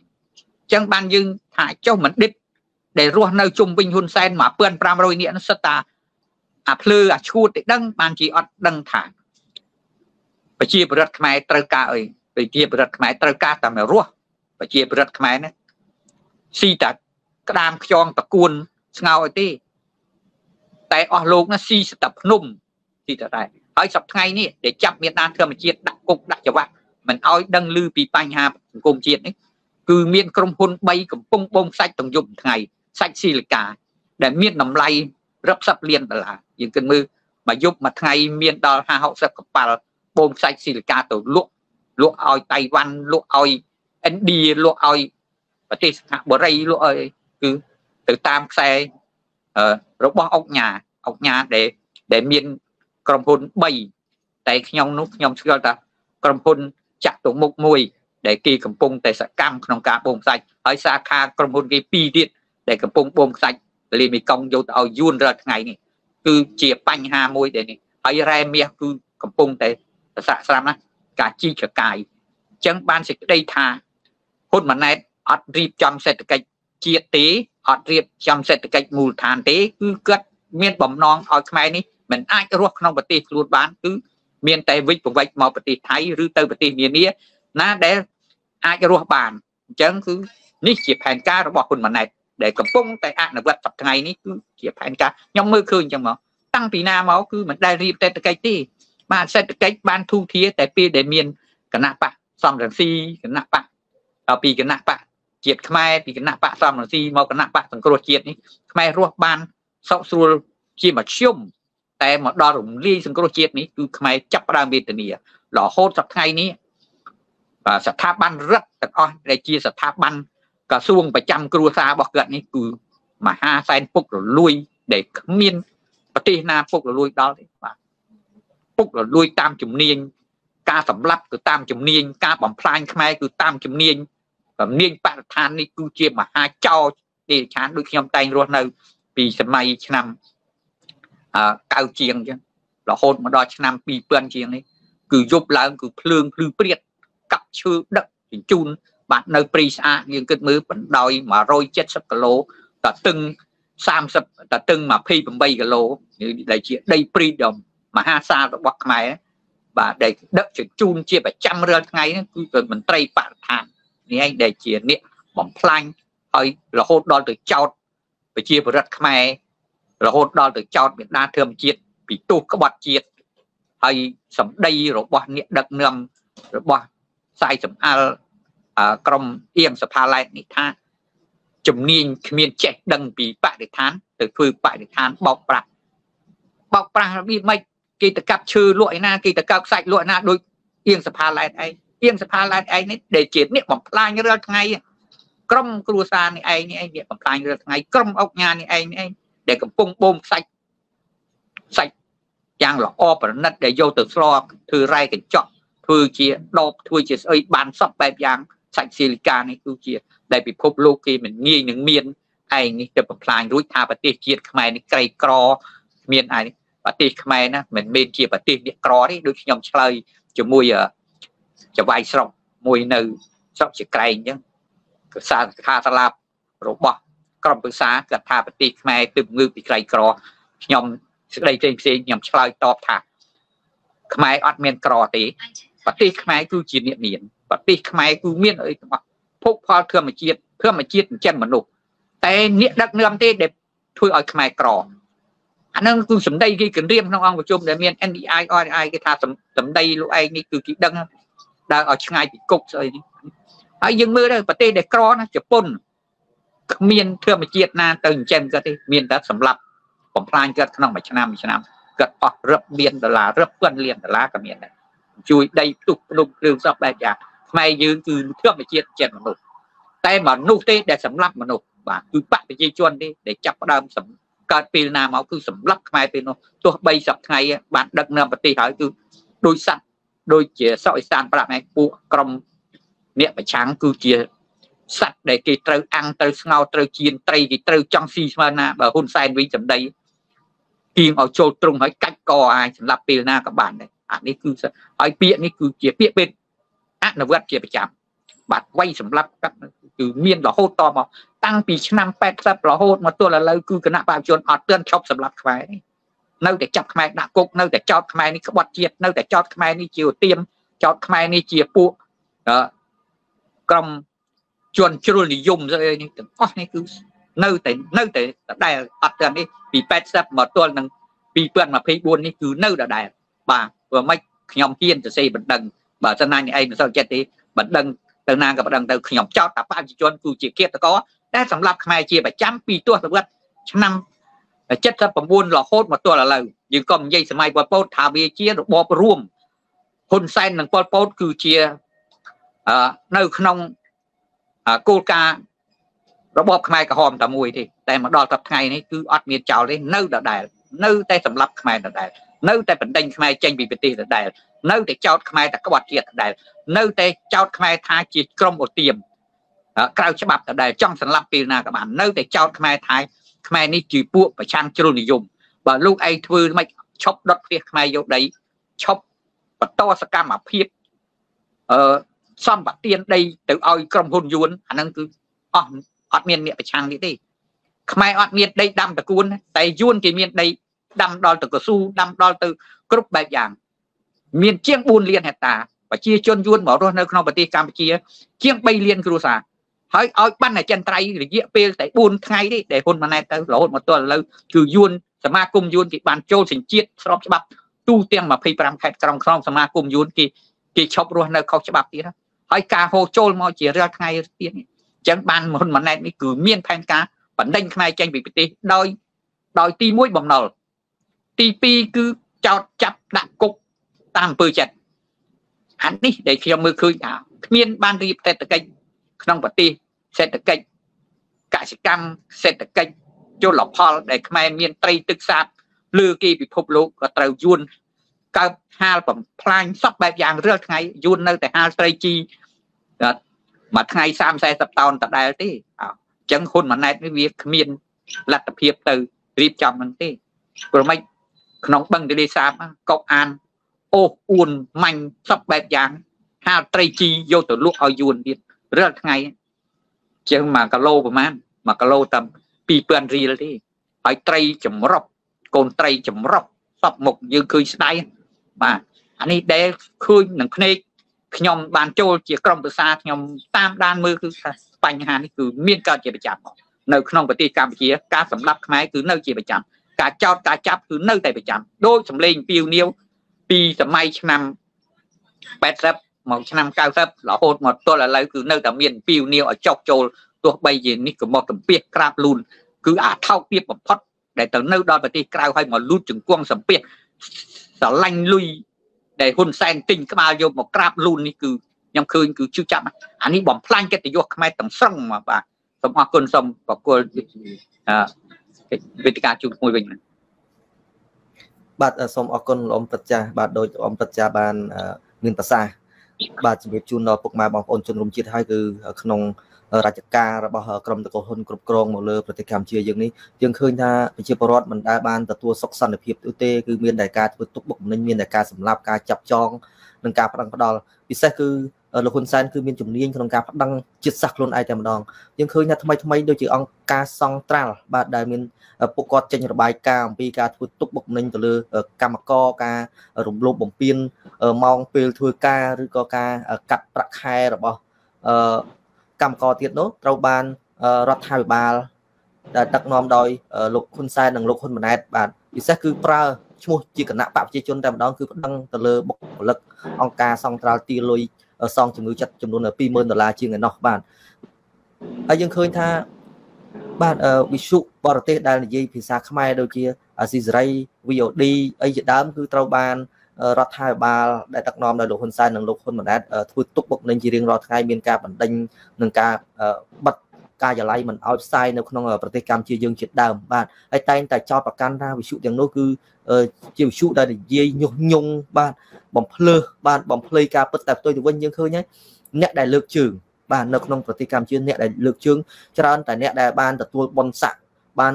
លៀបសការៈពីរបបលោកហ៊ុនសែននិងលោកហ៊ុនម៉ាណែតតតែម្ដងចៅคล้ายជាមន្ត្រីធំបាទ អឺឧក្រិដ្ឋជនខ្លាយជាមន្ត្រីធំបានរីឯប្រជាពលរដ្ឋស្លូតត្រង់ឬក៏អឺបញ្ញវន្តស្លូតត្រង់បែរជាខ្លាយជាអ្នកទោសអស់ទៅហើយបាទយើងឃើញថាតំណាងគណៈបកមន្ត្រីឬក៏ថ្នាក់ដឹកនាំរបស់គណៈបកប្រឆាំងដែលហ៊ានចេញមុខការពារប្រទេសទៅខ្លាយជាជនក្បត់ជាតិត្រូវខ្លាយជាអ្នកទោសអស់ហើយដូច្នេះហើយគឺបើសិនជាចង់ឲ្យ បំបត្តិនៃតនភាពនៅក្នុងប្រទេសកម្ពុជាមានតែពុកម៉ែបងប្អូនជនរួមជាតិទេដែលអាចរួមគ្នាដើម្បីមានការផ្លាស់ប្ដូរយ៉ាងពិតប្រាកដនៅក្នុងប្រទេសកម្ពុជាបាទអញ្ចឹងងាកមកបងស្រីវិញចំពោះបងស្រីបងស្រីផ្ទាល់ធ្លាប់ធ្វើសកម្មភាពនយោបាយនៅក្នុងប្រទេសកម្ពុជាយើងនេះជាមួយនឹងគណៈបព្វឆាំងបងមើលឃើញថាគណៈបព្វឆាំងជាទូទៅការធ្វើនយោបាយគឺដើម្បីបំផ្លាញជាតិឬក៏ដើម្បីឲ្យមានការផ្លាស់ប្ដូរឲ្យមានការអភិវឌ្ឍយ៉ាងពិតប្រាកដនៅក្នុងប្រទេសកម្ពុជាបាទសូមបងជឿបាទ ចាសូមអរគុណបងប្រុសហ្នឹងហើយអឺទស្សនៈរបស់ខ្ញុំខ្ញុំគណៈបពប្រឆាំងគឺតស៊ូរាល់ថ្ងៃសុកចិត្តជាប់ពន្ធនាគារសុកចិត្តប្រាប់ប្រាស់ក្រុមគ្រួសារនិរទេសទៅនៅស្រុកគេគឺទៅតែមកខំចិត្តទេចាពួកគាត់ដើម្បីការពារទឹកដីមិនចង់ឲ្យមានការត្រួតត្រាពីនឹមបរទេសដូចជាសម័យជំនាន់បារាំងហ្នឹងហើយយើងដឹងស្រាប់ហើយការរស់នៅក្រៅមកអាណាព្យាបាលរបស់បរទេសវាពិបាកប៉ុណ្ណា ពួកយើងរិះគន់ក្នុងន័យថាកណាដើម្បីឲ្យមានការកែប្រែនៅចំណុចអវិជ្ជមានអឺអវិជ្ជមានដែលដែលរដ្ឋាភិបាលគាត់ខ្វះចន្លោះមើលអត់ឃើញណាប៉ុន្តែរដ្ឋាភិបាលគាត់មិនដែលទទួលស្គាល់ហើយនឹងមិនដែលយល់ដល់ពួកយើងខ្ញុំទេគាត់តែងតែគិតថាពួកយើងខ្ញុំប្រឆាំងញុះញង់រួមកំណត់ក្បត់ហើយតែក្បត់យកអីរាល់ថ្ងៃនេះពួកយើងប្រាថ្នាតែសេចក្តីសុខណា រាល់ថ្ងៃឥឡូវយើងគិតទៅបរទេសគេមានសិទ្ធិមកចូលនៅប្រទេសកម្ពុជាដោយស្របច្បាប់ហើយគេមានសិទ្ធិលក់ដូរណាចំណែកប្រជាពលរដ្ឋខ្មែរគ្នាឯងត្រូវចំណាក់ស្រុកបងប្អូនឃើញហើយមកនៅប្រទេសថៃចាទៅប្រទេសកូរ៉េជប៉ុនដើម្បីរកលុយសមមណ្ឌលធនាគាររស់នៅក្នុងប្រទេសត្រូវអុកញ៉ាពីមុនអុកញ៉ាធ្លាប់តែជួយប្រជាពលរដ្ឋក្រីក្រធ្លាប់តែឧបត្ថម្ភការពីផលប្រយោជន៍ដល់បងប្អូនប្រជាជន តែអង្គញារាល់ថ្ងៃនេះចាឃើញតែប្រជាពលរដ្ឋស្រែកយំហើយបោកលុយប្រជាជនតាមលក្ខណៈដីឡូផ្ទះបរិយនិងដាក់លុយបានលុយចានេះហើយដែលបញ្ហាប្រឈមហើយអ្វីដែលត្រូវដោះស្រាយហ្នឹងប្រជាពលរដ្ឋជាម្ចាស់លុយម្ចាស់បរិយដែលគាត់ដាក់វិនិយោគហ្នឹងអឺបើប្តឹងក៏ប្តឹងអត់ឈ្នះគេដែរដោយសារគាត់អត់មានខ្សែហើយម្យ៉ាងគាត់អត់ស្គាល់សូវដឹងពីផ្លូវច្បាប់ ចឹងមិនត្រឹមតែអស់លុយហើយត្រូវជួនកាលជាប់ពន្ធនាគារទៀតចានេះហើយជាអ្វីដែលឈឺចាប់សម្រាប់ប្រជាពលរដ្ឋតែនាងខ្ញុំនៅតែជឿជាក់ថាប្រជាពលរដ្ឋលោកលោកដឹងណាលោកដឹងលោកបោះឆ្នោតជូនគណៈបកប្រឆាំងតាំងពីយូរមកហើយប៉ុន្តែដោយសារយើងធ្វើមិនបានជោគជ័យថាខ្លាញ់មានប្រតចាខ្ញុំជឿជាក់ថាប្រជាពលរដ្ឋខ្មែរលោក រាល់ថ្ងៃគាត់ទទួលបានព័ត៌មានពិតនៅក្នុងដៃគាត់ចាំតែសង្កេតមើលហើយនឹងតាមដានរាល់អ្នកនយោបាយដែលមានក្រមសីលធម៌ចាដែលស័កសមជាអ្នកបន្តវេនទោះបីលក្ខណៈជាមេភូមិមេឃុំឬក្រុមប្រឹក្សាក៏យើងរៀបចំខ្លួនពីខ្លួនយើងទៅខ្ញុំជឿជាក់ថាមិនហួសពេលទេនៅរយៈពេល10ឆ្នាំ20ឆ្នាំទៅមុខទៀតដែលយើងត្រូវតែធ្វើកុំចោះចាញ់កុំតន់ជ្រាយចា យើងត្រូវតែឆ្លងកាត់ទាំងអស់គ្នានេះហើយដែលអ្វីដែលនាងខ្ញុំខិតខំទោះបីនាងខ្ញុំជាប់ពន្ធនាគារពីរដងរយៈពេល3ឆ្នាំជាងជំរស់នៅហើយគេទៀមទីឲ្យចុះចូលក៏នាងខ្ញុំមិនអាចក្បត់ឧត្តមគតិខ្លួនឯងព្រោះខ្ញុំធ្វើមិនកើតខ្ញុំធ្វើមិនកើតខ្ញុំមិនអាចឆ្អិនក្បាលស៊ីក្បាលឆ្អិនកតុយស៊ីកតុយទេនាងខ្ញុំត្រូវតែជួយយ៉ាងម៉េច ឲ្យរដ្ឋាភិបាលថ្មីនោះលោកគិតពិចារណាបើលោកមិនពិចារណាទេទៅថ្ងៃមុខលោកនឹងជាប់ក្នុងក្រាំងប្រវត្តិសាស្ត្រហើយដោយសារប្រជាពលរដ្ឋមិនអាចនៅគ្រប់គ្រងនៅសេដ្ឋកិច្ចរាល់ថ្ងៃនេះទេការដែលជាប់គាំងនយោបាយនឹងធ្វើឲ្យសេដ្ឋកិច្ចយើងដួលតែរាល់ថ្ងៃនេះសំបីតែអ្នកដែលចង់មកលេងទស្សនកិច្ចនៅប្រទេសកម្ពុជាឬក៏ចង់មកទេសចរក៏គេអត់ហ៊ានមកដែរដោយសារអីសំបីតែកៅអី ក្រុមប្រឹក្សាការបោះឆ្នោតនៅតែគេប្លន់បានហើយចុះរំមាំពួកគាត់មកគាត់គិតថាវាមិនមានលំហប្រជាធិបតេយ្យពិតប្រាកដទេអញ្ចឹងធ្វើឲ្យពួកគាត់មិនបានអញ្ជើញមកលេងនៅប្រទេសកម្ពុជាទេមានខ្ញុំមានការអាណិតអាសូរអាណិតមែនទែនដល់ប្រជាពលរដ្ឋខ្ញុំឃើញពួកគាត់ស្រែកយំបញ្ហាប្រឈមដីធ្លីបញ្ហាបំណុលធនាគារខ្ញុំចង់ឲ្យមានការប្រែប្រួលណាខ្ញុំចង់ឲ្យមានសេដ្ឋកិច្ចដើរណាខ្ញុំមិនចង់ឲ្យឃើញភាពវេទនារបស់បងប្អូនខ្ញុំទេ ប៉ុន្តែខ្ញុំធ្វើម៉េចក្នុងនាមប្រជាជនហ្នឹងយើងទៅទៅធ្វើម៉េចបានបើគេក្តោបតាំងពីអឺកងគាត់ទៅហ៊ានមាននៅក្នុងដៃគាត់ទាំងអស់ហ្នឹងប៉ុន្តែខ្ញុំជឿថាថ្ងៃណាមួយដែលប្រជាពលរដ្ឋគាត់ដល់កគាត់ផ្ទុះឡើងហើយដល់ពេលហ្នឹងកុំបន្ទោសប្រជាពលរដ្ឋជាអ្នកខូចណាប្រជាពលរដ្ឋគាត់ទ្រាំលេងបាននឹងឲ្យគាត់នឹងអាចក្រោកឈរអញ្ចឹងសូមឲ្យរដ្ឋាភិបាលគិតពិចារណាកុំតាន់ឲ្យឲ្យដល់ដំណាក់កាលហ្នឹងចា ចានេះខ្ញុំមានមតិយោបល់តែប៉ុណ្្នឹងទេចាសូមអរគុណខុសត្រូវអីសូមប្រជាពលរដ្ឋទាំងអស់ជួយកែសម្រួលគ្នាចាលើកទី1អញ្ចឹងសូមអរគុណបងអឺលោកពូលោកពូកេលីហើយនឹងបងអូនប្រុសចាសូមអរគុណបាទបាទសូមអរគុណបងស្រីបាទដោយបងស្រីបានលើកឡើងបញ្ជាក់ឲ្យបញ្ជាក់ទៀតថាសកម្មភាពរបស់អឺគណៈដឹកនាំឬក៏មន្ត្រីរបស់គណៈបព្វឆាំងបច្ចុប្បន្នដែលធ្វើនយោបាយនៅក្នុងប្រទេសកម្ពុជាគឺអត់មានគោលបំណងសម្រាប់ បំផ្លាញជាតិឬក៏បំផ្លាញដល់ប្រជាពលរដ្ឋនោះទេគឺមានតែការចូលរួមបង្រួបបង្រួមជាតិមានការកសាងជាតិតែផ្ទុយទៅវិញគឺបែរជាត្រូវបានរដ្ឋាភិបាលដែលដឹកនាំដោយហ៊ុនសែននិងលោកហ៊ុនម៉ាណែតចោទប្រកាន់ថាជាសកម្មភាពធ្វើនយោបាយដើម្បីក្បត់ជាតិដើម្បីបំផ្លាញជាតិឯណានោះទៅវិញដោយសារតែมันបានកាន់ជើងលើកជើងឬក៏គ្រប់គ្រងគោលនយោបាយរបស់គណៈបព្វជិជនបើសិនជា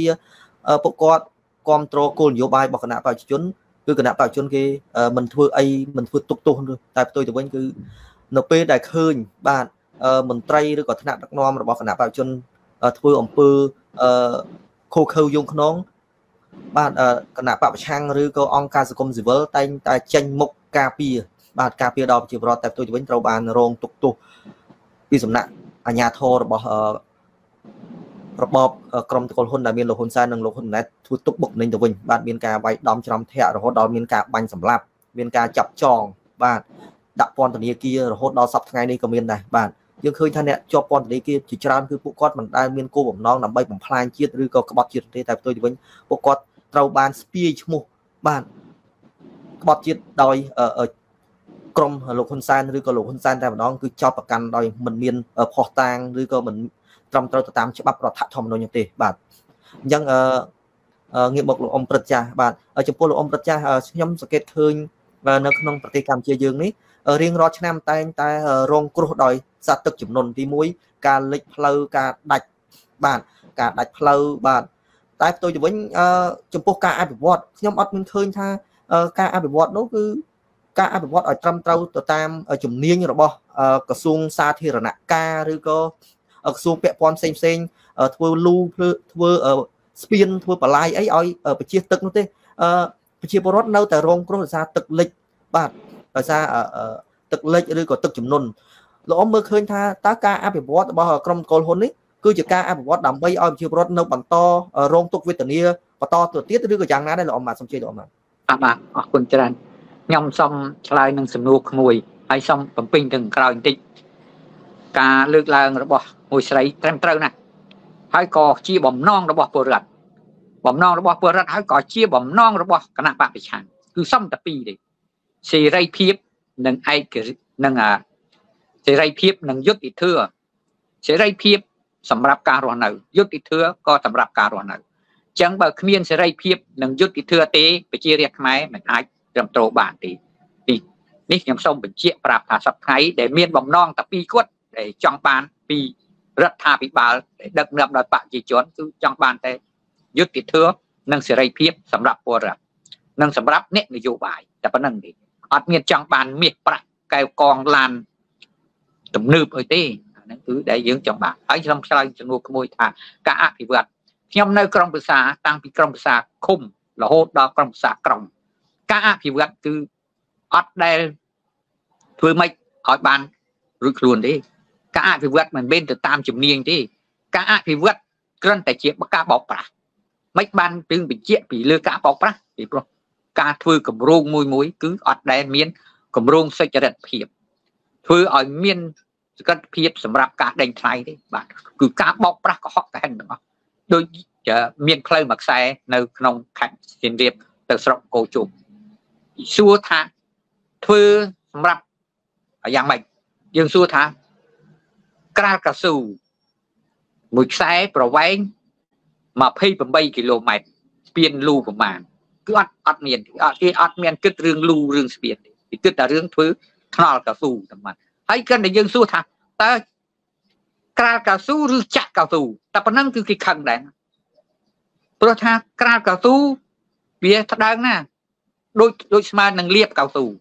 បើយើងតែឃើញដូចលៀបកៅស៊ូពីលើពីលើផ្លូវ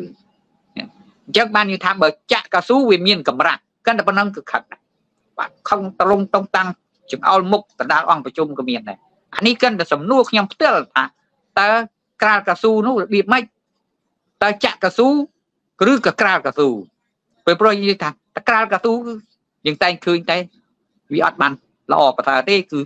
យកកស៊ូទៅលាបលាបថ្នល់ហើយក៏ចាក់ថ្មពេញពីលើអញ្ចឹងបានយើងសួរប៉ុណ្ណឹងគឺខឹកដែរអានេះ ដែលយើងគឺឃើញតការអភិវឌ្ឍគឺអភិវឌ្ឍតែបោកប្រាស់ទេហើយផ្លូវមួយខ្សែទៀតគឺយើងមើលផ្លូវ6ម៉ែត្រតែលូ4ម៉ែត្រហើយយើងថាថ្មីបានធ្វើចុះលូលូសល់ពីដើមគម្រោងគេធ្វើតែផ្លូវអានេះដែលខ្ញុំជួបខ្លួនឯងផ្ទាល់ហើយចុះបើធ្វើផ្លូវធំជាងស្ពានខ្ញុំមនុស្សមិនងើបជាងមើលផ្លូវផ្លូវទៅស្រុកអង្គរធំស្លាប់ក្នុងមួយឆ្នាំ អត់ក្រោមពី20នាក់ធ្លាក់លូព្រោះលូបតូចលូ4ម៉ែត្រផ្លូវ6ម៉ែត្រទៅហើយចោលខាងខាង1ម៉ែត្រ1ម៉ែត្របាត់ណាហើយអត់មានដាក់ភ្លើងសញ្ញាអីទេនេះខ្ញុំតែគឺអភិវឌ្ឍដើម្បីសម្លាប់មនុស្សអភិវឌ្ឍដើម្បីដេញមនុស្សចេញពីពីលំនៅឋានអភិវឌ្ឍពាក្យថាអភិវឌ្ឍគឺពាក្យសម្លាប់មិនមែនអភិវឌ្ឍរៀបចំឲ្យមានលូឲ្យមានខ្សែភ្លើងអីទេបាទ កាយចុះកាយឡើងដូចនៅក្នុងក្រុងសៀមរាបក្រុងប៉ោយប៉ែតនេះក៏ដូចគ្នាកាយចុះកាយឡើងអត់មានទេបាទចាក់ប៊ីតុងហើយកាយប៊ីតុងដាក់លូកាយប៊ីតុងដាក់លូហើយកាយប៊ីតុងដាក់ខ្សែភ្លើងកាយប៊ីតុងដាក់អឺទឹកស្អាតលាយទៅដែរបាទអានេះតែអញ្ចឹងបានហ៊ុនសែនក៏ស្រែកថាប្រជាពលរដ្ឋគេស្រែកត្រូវណាធ្វើថ្នល់ កាយថ្នល់ដាក់លូធ្វើថ្នល់កាយថ្នល់ដាក់ខ្សែភ្លើងធ្វើថ្នល់រួចហើយកាយថ្នល់មកដាក់ទឹកស្អាតពីយោណាអញ្ចឹងហ៊ុនសែនស្រែកខែមុននេះគឺត្រូវណាបាទហើយជាប្រចាំអនុវត្តគឺជាប្រចាំអញ្ចឹងបានប្រទេសខ្មែរខុសពីជំនួយបរទេសជំនួយជប៉ុនផ្លូវជាតិលេខ6គឺគេធ្វើស្អាតណាស់បាទប្រើរហូតដល់ឡើង25ឆ្នាំហើយនៅប្រើសប្តាហ៍អត់មានបានទៅកាយទៅកប់ដាក់ទៅទីទេ បាទគឺគេធ្វើលូអងផ្លូវលូកាត់ផ្លូវរបស់គេគឺតែត្រូវមកហើយគេពង្រីកផ្លូវជាតិលេខ6រហូតដល់ក្រុងភ្នំពេញគេធ្វើវៀងឲ្យទៀតគេមិនមែនធ្វើសម្រាប់ឬផ្ទះដូចអឺពួកអាមនិតលើកើសប្ថ្ងៃធ្វើធ្វើផ្លូវពង្រីកផ្លូវដេញប្រជាពលរដ្ឋចេញនេះនៅទំនប់96នៅអាបលាយ96នេះត្រូវដេញប្រជាពលរដ្ឋជាង300គ្រួសារចេញដើម្បីធ្វើបលាយ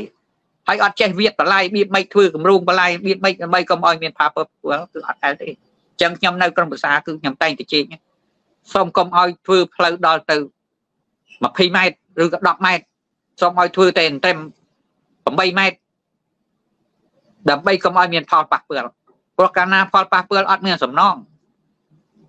ហើយចោតប្រជាប្រដ្ឋទៅរស់នៅខុសច្បាប់ទៀតចាំបើដឹងតែគាត់នៅខុសច្បាប់ហើយគាត់ទៅខំចេញប្លង់ចេញកម្មសិទ្ធិឲ្យគាត់អានេះ ដែលខ្ញុំតែងមើលឃើញតាយើងទៅជ័យច្រើនណាតែពួកនេះគឺវាជាផែនការសម្លឹកខ្មែរអត់មានអភិវឌ្ឍនោះដើម្បីសេចក្តីសុខការរស់នៅថ្លៃធ្នូទេ ទៅកន្លែងណាឲ្យតែលឺទៅអភិវឌ្ឍគឺស្រេចហើយបាទខ្សឹបថ្ងៃខ្មែរលឺទៅអភិវឌ្ឍចង់រត់ចង់រត់ចោលស្រុកមុនណានៅនៅខេត្តសៀមរាបខ្ញុំរហូតដល់គេរកឃើញប្រជាពលរដ្ឋ8000គ្រួសាររស់នៅខុសច្បាប់ ស្រុកពួកមួយចំនួនខុសច្បាប់ស្រុកប្រាសាទបកងខុសច្បាប់ទៀតក្រុងសៀមរាបខុសច្បាប់ស្រុកបកាយស្រីខុសច្បាប់ទៀតបានខ្ញុំថាជី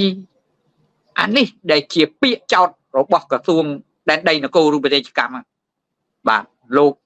ខ្ញុំអត់ស្គាល់ឈ្មោះលោកទេប៉ុន្តែខ្ញុំគ្រាន់តែឮមកថាវាហួសចិត្តថាហេតុម៉េចចោតប្រជាពលរដ្ឋដែលរស់នៅតាំងពី2000ឆ្នាំមកថាមកតាំងទីលំនៅខុសច្បាប់នោះវាវាមិនដែលមានអញ្ចឹងបានជាបញ្ហា គឺមិនមានធ្វើដើម្បីសេចក្តីសុខទេគឺធ្វើដើម្បីបំផ្លាញខ្មែរហ្មងអានេះដែលយើងតែងមើលឃើញទាំងអស់ដូចដូចនេះទៅនៅរុនតឯកតថ្ងៃនេះ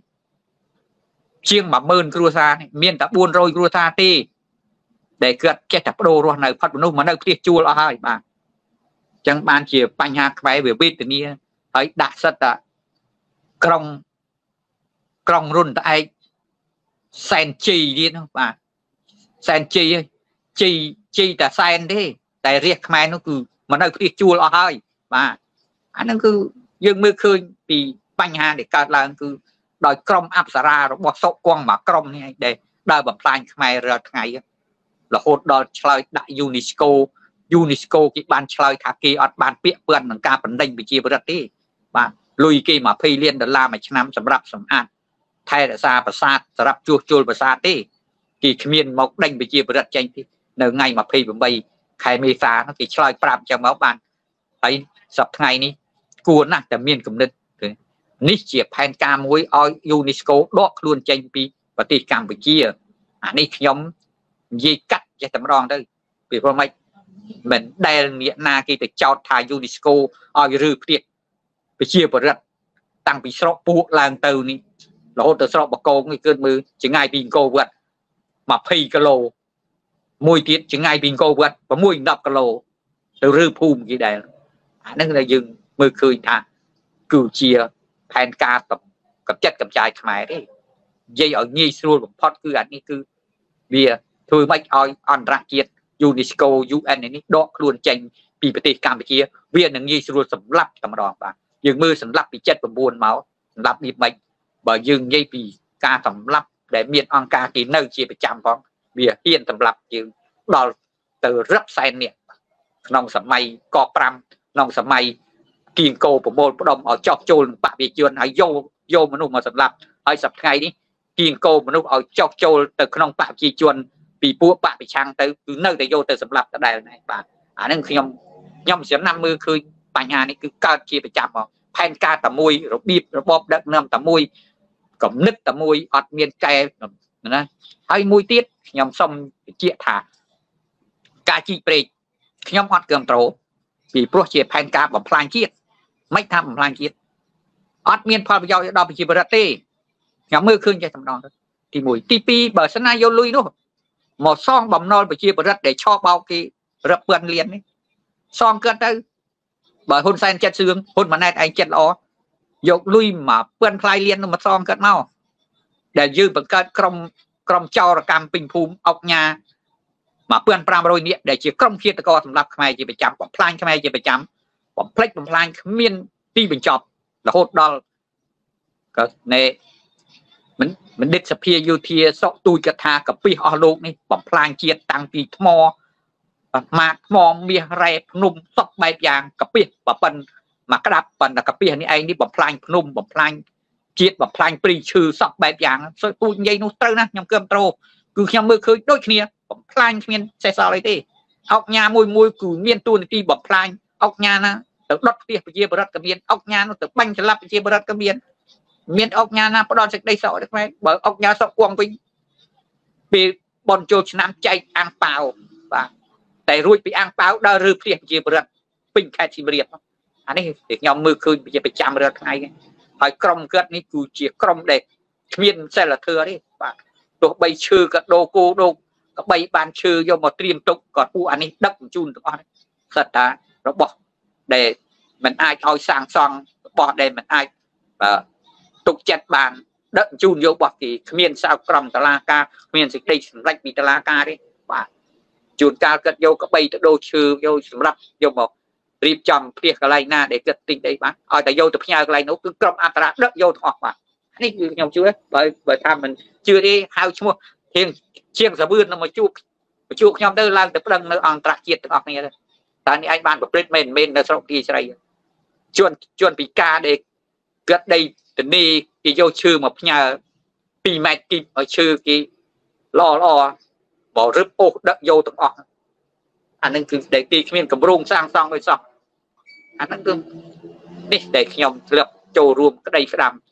ជាមួយអប្សរាស្រុកពទាស្រីគឺមហាគូគឺចៅ500គ្នាបាទអញ្ចឹងបានខ្ញុំគ្មានសង្ឃឹមថាគាត់នឹងអភិវឌ្ឍណាមួយឲ្យបានល្អត្រឹមត្រូវល្អប្រសើរទេជាងមើលផែនការបព្វជិជនបាទបើថាជប៉ុនបារាំងគេមិនធ្វើឲ្យទេត្រឹមតែលូទឹកស្អុយក៏ធ្វើខ្លួនឯងអត់កើតដែរបាទគ្មានទឹកចម្រោះចម្រោះទឹកស្អុយឲ្យខ្លាយទៅជាទឹកស្អាតដូចជប៉ុនគេធ្វើឲ្យ ខ្ញុំសប្បាយចិត្តណានៅសង្កាត់ស្វាយគុំនិងសង្កាត់ស៊ីមរៀបសង្កាត់ជ្រាវដែលគេធ្វើទឹកស្អាតទឹកស្អុយគេធ្វើឲ្យខ្លាយទៅទឹកស្អាតចម្រោះបានស្រោចដំណាំទៅឯងសមត្ថភាពក៏សហថាបានរដ្ឋគឺចោលជាគ្នាទេបាទគេហៅចោលតាមក្រសួងចោលតាមគ្រួសារទៀតនោះពុករលួយមហាពុករលួយបាទគ្មានការពិតសម្រាប់សង្គមជាតិគ្មានការពិតសម្រាប់មនុស្សជាតិគ្មានយុត្តិធម៌សម្រាប់ ការរស់នៅរបស់ប្រជាពលរដ្ឋទេយើងមើលចោតសិតតែចោតក្បត់ជាតិចោតសិតតែអូទៀមហើយមើងងាយមហាក្សត្របើក្មេង5 6នាក់គិតគ្មានដែលទៅប៉ះពាល់មហាក្សត្រឯណាបានមួយម៉ាត់ផងគិតគិតតែវារឿងកុំឲ្យកាប់ឈើកុំឲ្យបូមខ្សាច់កោះកងក្រៅរបស់គាត់ហ្នឹងក៏យកគាត់ទៅដាក់គុកសិតតែពីបត់អក្រិតអាហ្នឹងដែលយើងដូចកើតសរាយគាត់នយោបាយទៅឲ្យកុមារអាយុ6ឆ្នាំ និងអាយុ3ឆ្នាំដែលគាត់អត់មានម៉ែឪយកម៉ែឪទៅដាក់គុកនៅព្រះវិហារសុចិត្តទៅចាប់គាត់ដាក់គុកទៀតអាហ្នឹងយើងមើលខុសខើប៉ុណ្ណាបើយើងវិភាគទៅគឺអានេះគឺជាឃាតករសង្គមតតាមិនមែនជារដ្ឋាភិបាលទេអញ្ចឹងបានអង្គការជាតិគេមិនទទួលស្គាល់ថាជារដ្ឋាភិបាលខ្ញុំអត់គេទទួលស្គាល់តែតែការទូតប្រមុខការទូតតែមួយមុខបាទអានេះដែលគឺគេបានដាក់នៅក្នុងបញ្ជីរបស់គេតាំងពី ខែមករាមកយើងមើលទៅប្រជុំនៅអង្គការជាតិគេឲ្យត្រឹមតែប្រមុខការទូតគេអត់មានប្រមុខរដ្ឋាភិបាលតំណាងជាតិយ៉ាងខ្ចីលុយគេណាក៏អត់បានគឺប្រឹងបោកប្រជាពលរដ្ឋសម្រាប់ប្រជាពលរដ្ឋយកលុយយកកាសសប្តាហ៍នេះបាទសូមអរគុណសូមគោលកិច្ចការដល់ក្មួយវិញបាទសូមអរគុណលោកព្រឹទ្ធចាស់បាទដោយលោកអ៊ំព្រឹទ្ធចាស់បានមានប្រសាសន៍ហើយជំវិញការដឹកនាំរបស់លោកហ៊ុនសែននិងលោកហ៊ុនម៉ាណែតគឺតែងតែបំផ្លាញ ទាំងបំផ្លាញធនធានធម្មជាតិសម្បត្តិធម្មជាតិឬក៏បំផ្លាញជាតិសាសន៍ខ្លួនឯងតែម្ដងយើងឃើញថាមានការសម្លាប់មានការបណ្ដេញចេញពីប្រទេសបាទទោះបីមិនបណ្ដេញផ្ទាល់យ៉ាងណាក្តីក៏ធ្វើឲ្យប្រជាពលរដ្ឋមានលំហចាក់ចេញពីប្រទេសកំណើតជាច្រើនបាទដោយសារតែសេដ្ឋកិច្ចនៅក្នុងប្រទេសកម្ពុជាក្រោមការដឹកនាំរបស់ពួកគាត់នោះគឺធ្លាក់ចុះខ្លាំងទើបធ្វើឲ្យប្រជាពលរដ្ឋមិនអាចរស់នៅមិនអាចប្រកបមុខរបរបាន គឺគាត់ចាក់ចេញពីប្រទេសដើម្បីមករកការងារ ធ្វើនៅតាមបណ្ដាប្រទេសគេហើយការមករស់នៅប្រកបការងារនៅប្រទេសជាប់នឹងប្រទេសកម្ពុជាអ្នកខ្លះអាចរស់នៅដល់រយៈពេល10ឆ្នាំឬក៏20ឆ្នាំឯណោះនៅពេលដែលខ្ញុំជួបពលករដែលធ្វើការនៅប្រទេសថៃសួរគាត់ទៅគាត់ថាមក10ឆ្នាំមក20ឆ្នាំហើយគាត់អត់ដែលទៅប្រទេសខ្មែរវិញទេដោយសារតែគាត់ឃើញប្រទេសខ្មែរមានការពិបាកដូចជាអសន្តិសុខបាទអឺកើតរឿងឧក្រិដ្ឋកម្មធំធំ ច្រើននៅក្នុងប្រទេសកម្ពុជាហើយក៏មានមន្ត្រីឬក៏ថ្នាក់ដឹកនាំដែលបង្កើតព្រឹត្តិការណ៍នាំឲ្យមានការធ្វើទុកបុកម្នេញការស្លាប់ឬក៏ការជាប់ទោសដល់ប្រជាពលរដ្ឋទៅទៀតនោះបាទរីឯនៅប្រទេសគេគាត់ថាមានសេរីភាពបាទប្រកបមុខរបរគឺមានប្រាក់ខែត្រឹមត្រូវអត់មានការកេងប្រវ័ញ្ចជិះជាន់អីណាដូចប្រទេសខ្មែរយើងនោះទេបាទអញ្ចឹងងាកមកបងស្រីចំពោះបងស្រីចំពោះបងដែលធ្លាប់ធ្វើការក្នុងក្រមរក្សា ឃុំរបស់គណៈបព្វឆាំងនៅពេលដែលបងធ្វើការជាមួយនឹងគណៈបព្វជិជនតើបងឃើញថាអ្នកដែលចោះចូលជាមួយនឹងគណៈបព្វជិជនគណៈបព្វជិជនដែលឲ្យតម្លៃនឹងឲ្យការងារដូចមន្ត្រីរបស់គេដែលជាគណៈបព្វជិជនរបស់គេផ្ទាល់ដែរទេបាទបងសូមជឿបាទចាសូមជម្រាបសួរម្ដងទៀតដល់បងប្អូនទាំងអស់ចាលឺច្បាស់ទេចាលឺលឺអឺតាមពិតទៅដូចប្រសាសន៍លោកសុកអេសានគាត់មានប្រសាសន៍អញ្ចឹង អឺធម្មតាទេតែយើងរស់នៅក្នុងទ្រង់របស់គេណាគេពេញចិត្តក៏គេឲ្យយើងធ្វើទៅគេពេញចិត្តក៏យើងគេឲ្យតម្លៃយើងទៅតែដល់ពេលយើងអស់តម្លៃគេនឹងកម្ចាត់យើងចោលហើយព្រោះខ្ញុំឃើញបងប្អូនដែលផ្ដាច់ខ្លួនពីបងប្អូនគណៈបព្វឆាំងដោយប្រការណាមួយដូចជាបញ្ហាគ្រួសារបញ្ហាជីវភាពពួកគាត់ទៅតែរូបកាយទេមិនតែទឹកចិត្តរបស់គាត់គាត់នៅតែមានឧត្តមគតិ និងមនសិការចង់ដឹងនឹងខ្វល់ខ្វាយពីប្រជាពលរដ្ឋប៉ុន្តែអ្វីដែលត្រូវគាត់រងសម្ពាធគឺគាត់នឹងត្រូវគណៈបណ្ដាញរបស់គណៈបព្វជិជនគេនឹងតាមដានគាត់បើសិនជាគាត់នៅតែមិនចោះចូលគេទាំងស្រុងទេគឺគាត់នឹងរងគ្រោះហើយអញ្ចឹងមិនមែនបងប្អូនខ្លះគាត់ចោះចូលគាត់ធ្វើលិខិតសុំទោសតែគាត់សុំទោសតែរូបរាង ខាងក្រៅដើម្បីបានរួចចេញមកក្រៅទេពួកគាត់មានឧត្តមគតិនិងមនសិការជាតិពិតប្រាកដគាត់មិនដែលរស់នៅជាមួយការដឹកនាំ40ឆ្នាំដែលពុករលួយតាំងពីជើងក្រោមរហូតដល់មេដំបូងនេះទេចាអឺបងប្អូនប្រជាពលរដ្ឋគាត់រិះគន់ហើយគាត់គិតថាមន្ត្រីក្នុងថ្នាក់ដឹកនាំពុករលួយតែតាមពិតពួកមន្ត្រីទាំងនោះគាត់ក៏មានឧត្តមគតិដែរប៉ុន្តែគាត់មិនអាចធ្វើអ្វីបានទេដោយសារមេដំបូលមេដំបូលនោះវាពុករលួយ ចាវាខ្មោចស៊ីជ្រុះមកកាច់មកទោះបីយើងសម្អាតនៅខាងក្រោមយ៉ាងណាក៏មិនស្អាតដែរចាមានតែសម្អាតពីមេដំបូលហើយមេដំបូលនោះយើងដឹងហើយគឺដំបូលអ្នកដឹកនាំចាខ្ញុំសូមសរសើរនិងកោតស្ញប់ស្ញែងមែនទែនដល់ពលករនៅប្រទេសថៃនិងនៅប្រទេសជប៉ុនប្រទេសកូរ៉េចាដែលគាត់ហ៊ានលះបង់ទាំងថវិកាចាទាំងពេលវេលាផ្ទាល់ខ្លួន ខ្ញុំសរសើរឧត្តមគតិរបស់គាត់មែនទែនហើយខ្ញុំជឿជាក់ថាផ្លូវដែលបងប្អូនពលករគាត់ធ្វើដំណើរដល់ត្រឹមត្រូវគឺដើម្បីបដូរនិងចង់បានប្រជាធិបតេយ្យបើសិនជារដ្ឋាភិបាលគាត់កែប្រែក៏មិនទាន់ហួសពេលដែរសំខាន់សូមឲ្យបើកលំហប្រជាធិបតេយ្យទៅនាងខ្ញុំក្នុងនាមមន្ត្រីគណៈបព្វឆាំងនាងខ្ញុំក៏ចូលរួមត្រេកអរដែរដែលឃើញរដ្ឋាភិបាលដែលចេះអភិវឌ្ឍខ្លួនចេះកែប្រែ ពីអ្វីដែលអវិជ្ជមានមកវិជ្ជមានយើងបើកលំហប្រជាធិបតេយ្យទៅយើងឲ្យប្រជាពលរដ្ឋចូលរួមបោះឆ្នោតដោយសន្តិវិធីទៅហើយអ្នកចាញ់ក៏ចាញ់យើងចោះទៅណាយើងធ្វើច្បាប់មួយការពារខ្លួនគាត់ទៅកុំឲ្យមានការសម្លាប់រង្គាលអីដូចសម័យប៉ុលពតបដូរគ្នាទៅមួយចំនួនពីរចំនួនទៅសម្លាប់គ្នាឯងហ្នឹងចំណុចនេះគឺខ្ញុំមិនឯកភាពទេទោះបីជាគណៈបកប្រឆាំងគណៈបកក្រៅរដ្ឋាភិបាលក៏ឡើងដឹកនាំអឺយើងអាច ឲ្យមានការកែប្រែច្បាប់ធ្វើអភិវឌ្ឍប្រទេសយើងដូចប្រទេសថៃមើលមើលគេធ្វើដើម្បីប្រទេសជាតិទេប្រទេសវៀតណាមគេកុំមុនីមែនប៉ុន្តែគេដូរថ្នាក់ដឹកនាំចាគេអត់នៅត្រាំត្រែងដដែលដដែលទេដោយសារអីធម្មតាទេតែយើងនៅយូរតែតែមានខុសមានត្រូវហើយព្រោះថាយើងធ្វើយើងតែតែខុសប៉ុន្តែគ្មានណាល្អគ្រប់10ទេយើងខុសត្រឹម50 40%ហើយយើងអាចកែប្រែវិញបានវាអត់ដល់ហួសពេលទេ ហើយខ្ញុំតែងតែចង់បាននិងចង់ឃើញរដ្ឋាភិបាលថ្មីដែលឡើងដឹកនាំដោយលោកហ៊ុនម៉ាណែតនោះគាត់មានការកែប្រែខ្ញុំដឹងថាគាត់នៅខ្ចីនៅក្មេងហើយមិនទាន់អាចកែប្រែគ្រប់ទម្រង់ទេប៉ុន្តែសូមគុំធ្វើអីឲ្យសាហាវឲ្យសាហាវជាងនេះវាហួសជ្រុលវាមិនអាចបកក្រោយបាននឹងហើយដែលធ្វើឲ្យប្រជាពលរដ្ឋគាត់ឈឺចាប់ដល់ថ្នាក់អឺគេហៅថារំលាតពីអ្នកក្រអ្នកមានគឺឆ្ងាយពីគ្នា ដល់ពេលនេះទៅអ្នកក្រមកខាងអ្នកក្រអ្នកមានទៅខាងអ្នកមានហើយតែអ្នកមានតិចអ្នកក្រច្រើននៅពេលហ្នឹងហានិភ័យនឹងកើតឡើងហើយធម្មតាទេអឺខ្ញុំជាមន្ត្រីគណៈបកនយោបាយខ្ញុំមិនមែនប្រឆាំងបងប្អូនឯងជាប្រជាជនទេគណៈបកប្រជាជនក៏មានក៏ជាខ្មែរចាខ្ញុំចង់ឲ្យគាត់រៀនផ្លាស់ប្ដូរផ្នែកគំនិតគ្នាទៅវិញទៅមកកុំដឹកនាំតតាំងពីឪពុកជីតាមកកូនមកចៅណា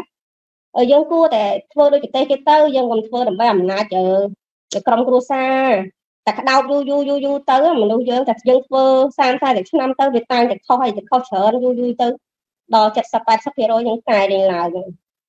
ខ្ញុំមកនៅមករស់នៅប្រទេសថៃនេះរយៈពេល3ខែមិនតែខ្ញុំឃើញការដឹកនាំរបស់ប្រទេសគេអនុវត្តមែនតើណាគេមានហានិភ័យដែរសម្រាប់ទឹកដីគេប៉ុន្តែគេធ្វើគេមិនដល់ថ្នាក់ ចាប់អ្នកប្រឆាំងដាក់គុកឲ្យតែអ្នកហ៊ាននិយាយហើយសូម្បីតែបងប្អូនទាំង5នាក់នៅខាងសកម្មជនមេដាធម្មជាតិគាត់និយាយរឿងបរិស្ថានសោះចាប់គាត់ដាក់គុក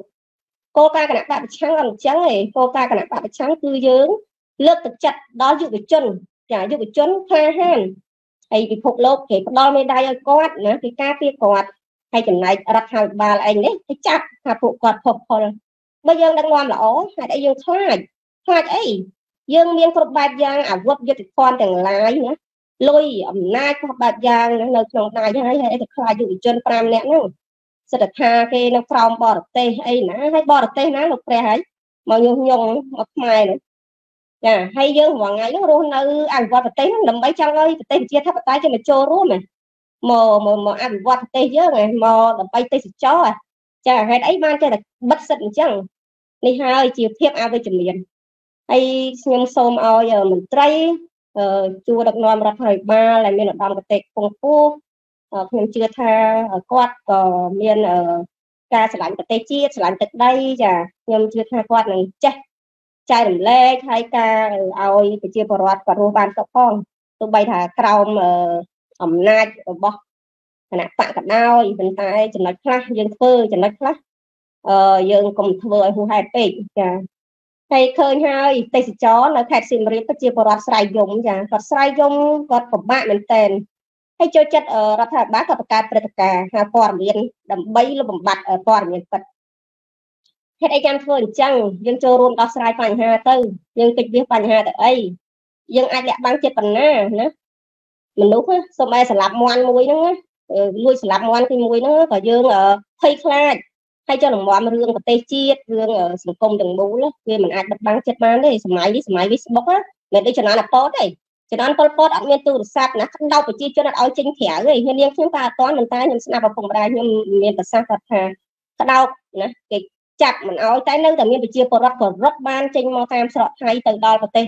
អឺមហាអំណាចទៅប្រាប់ដល់អង្គការសហប្រជាជាតិមករំដោះខ្មែរ ប៉ុន្តែដោយសារយើងក្រោមនយោបាយគេគេមកមុនណាដឹកផ្ទះយើងហើយគេចូលមកព្រោះយើងហ្នឹងហើយអឺចានាងខ្ញុំមានមតិយោបល់ប៉ុណ្ណឹងចាសូមអរគុណច្រើនដល់លោកចាអ៊ំប្រតិចានិងបងអូនប្រុសចាសូមអរគុណដល់ប្រជាពលរដ្ឋទាំងអស់ដែលបានជួយ share ជួយ like អឺ page វីរភាពលោកប្រធានសំនឹងស៊ីចាខ្ញុំជឿជាក់ថាវីរភាព លោកប្រធានសំនឹងស៊ីនឹងចងចាំនៅក្នុងឧត្តមគតិជាតិរបស់បងប្អូននិងរៀនស្បងទាំងអស់ចាសូមអរគុណចាបាទសូមអរគុណបងស្រីបាទខ្លាំងមែនតើបងស្រីបានមានប្រសាសន៍ជំវិញប្រធានបទរបស់យើងនេះគឺត្រឹមត្រូវណាស់បាទអញ្ចឹងយើងក៏ដល់ម៉ោងកំណត់របស់យើងហើយអ៊ំព្រឹកចាតើអ៊ំមានអ្វីចុងក្រោយបាទសុខចិត្តអ៊ំបាទបាទបាទអរគុណច្រើនហើយជាបន្តខ្ញុំក៏មានគំនិតដូចក្មួយស្រីដែរ ចង់ឲ្យរដ្ឋាភិបាលបណ្ដោះអាសន្ននេះគាត់ចេះដឹងយល់អំពីលទ្ធិប្រជាធិបតេយ្យឲ្យចេះក្លាហានក្នុងការបោះឆ្នោតដើម្បីកុំឲ្យខាងមានសង្គ្រាមព្រោះពួកខ្ញុំវាសង្គ្រាម4ចំនួនមកចឹងខ្ញុំអត់ចង់សង្គ្រាមទៀតទេចង់ឲ្យមានការបោះឆ្នោតបោះឆ្នោតដោយសេរីយុត្តិធម៌ដែលប្រជារាស្ត្រអាចសង្ឃឹមជឿទុកចិត្ត ចឹងបានខ្ញុំថាឪជាប់ឈ្មោះអាច្រាស់ទិសកូនជាប់ឈ្មោះអាកខ្វក់កូនក្មួយជាប់ឈ្មោះអាចោះឆោបោកលើពិភពលោកពូជដេរិឆាននេះវាបានជាប់ឈ្មោះក៏មិនងាយកែប្រែទេមិនបានខ្ញុំហ៊ានទោះទាយចឹងពីព្រោះគាត់នេះមិនមែនបំរើខ្មែរទេគាត់បំរើសហព័ន្ធ Endujet យើងមើលពាក្យ3ម៉ាត់ CLV CLV នេះខ្ញុំធ្លាប់យល់ហើយអ្នកណាកាន់លិខិត C CV អ្នកនោះជាខ្មែរអ្នកណាកាន់លិខិត LV អ្នកនោះជាលាវចឹងបានគេងាយស្រួលនឹងសង្កលលិខិត បទកិច្ចឋាន សម្រាប់សង្កលខ្លួនសម្រាប់សង្កលការរស់នៅ គឺគេទៅសេអក្សរ2ខ្មែរគេទៅសេឲ្យ CV ឯលាវគឺគេទៅសេឲ្យ LV បានសេចក្តីថានៅក្រោមការគ្រប់គ្រងរបស់វៀតណាមចឹងគេមិនកែប្រែទេគេធ្វើម៉េចសម្រេចគោលការណ៍ហូជីមិញឲ្យបានអញ្ចឹងបានគេធ្វើសហព័ន្ធ ខ្នាតតូចមួយ ដើម្បីជាជំហានមួយ សម្រាប់គ្រប់គ្រងអញ្ចឹងយួនគេមានសិទ្ធិតែប៉ិតនៅលើទឹកដី4ខេត្តរបស់ខ្មែរដែលយួនគេមានដល់ទៅជាង7លាននាក់ខ្មែរមានតែ5សែននាក់ចូលជាទឹកដីសហព័ន្ធឡាវគេ4ខេត្តដែរគេមានដល់ទៅដល់70000នាក់យើង យើង5សែននាក់គេ7សែននាក់ហើយយួនគេមានដល់ទៅជាង7លាននាក់ហើយយើងទៅធ្វើទៅបោះឆ្នោតអីទៅធ្វើអីបានកើតអត់មានបានកើតទេអញ្ចឹងខ្មែរខាតធ្ងន់ធ្ងរណាស់ហើយសិទ្ធសិទ្ធក្នុងការសម្រេចចិត្តកាត់ប្រទេសទៅឲ្យយួននៅថ្ងៃទី12 13នេះតាមរយៈមេបកប្រជាជនគឺធ្ងន់ធ្ងរណាស់គ្មានច្បាប់ណាហ៊ានចែងថាបកមានសិទ្ធកាត់ទឹកដីទៅឲ្យបរទេស បកនោះបកក្បត់ជាតិហើយដូចចោតពួកខ្ញុំជាក្បត់ជាតិនេះខ្ញុំមានបានកាត់ធ្វើសម្បទានដីកសិកម្មទៅឲ្យបរទេសណាទេហើយខ្ញុំដែលទៅកាត់ដីឲ្យបរទេសគ្រប់គ្រងខ្មែរទេអានេះយើងបញ្ជាក់ឲ្យច្បាស់អញ្ចឹងនេះឯងប្រើ CLV នេះគឺនេះឯងមានទោសធ្ងន់ណាស់បាទប្រជារាស្ត្រខ្មែរនឹងក្រោកឈរប្តឹង នេះឯងកាត់ទោសនេះឯងទៅតាមមធ្យោបាយរបស់មហាជនពីព្រោះនេះឯងធ្វើនេះគឺធ្ងន់ធ្ងរណាស់គ្រាន់តែជាមេបកនេះឯងហ៊ានកាត់ដីឲ្យបរទេសដល់ទៅ4ខេត្តសម្រាប់គ្រប់គ្រង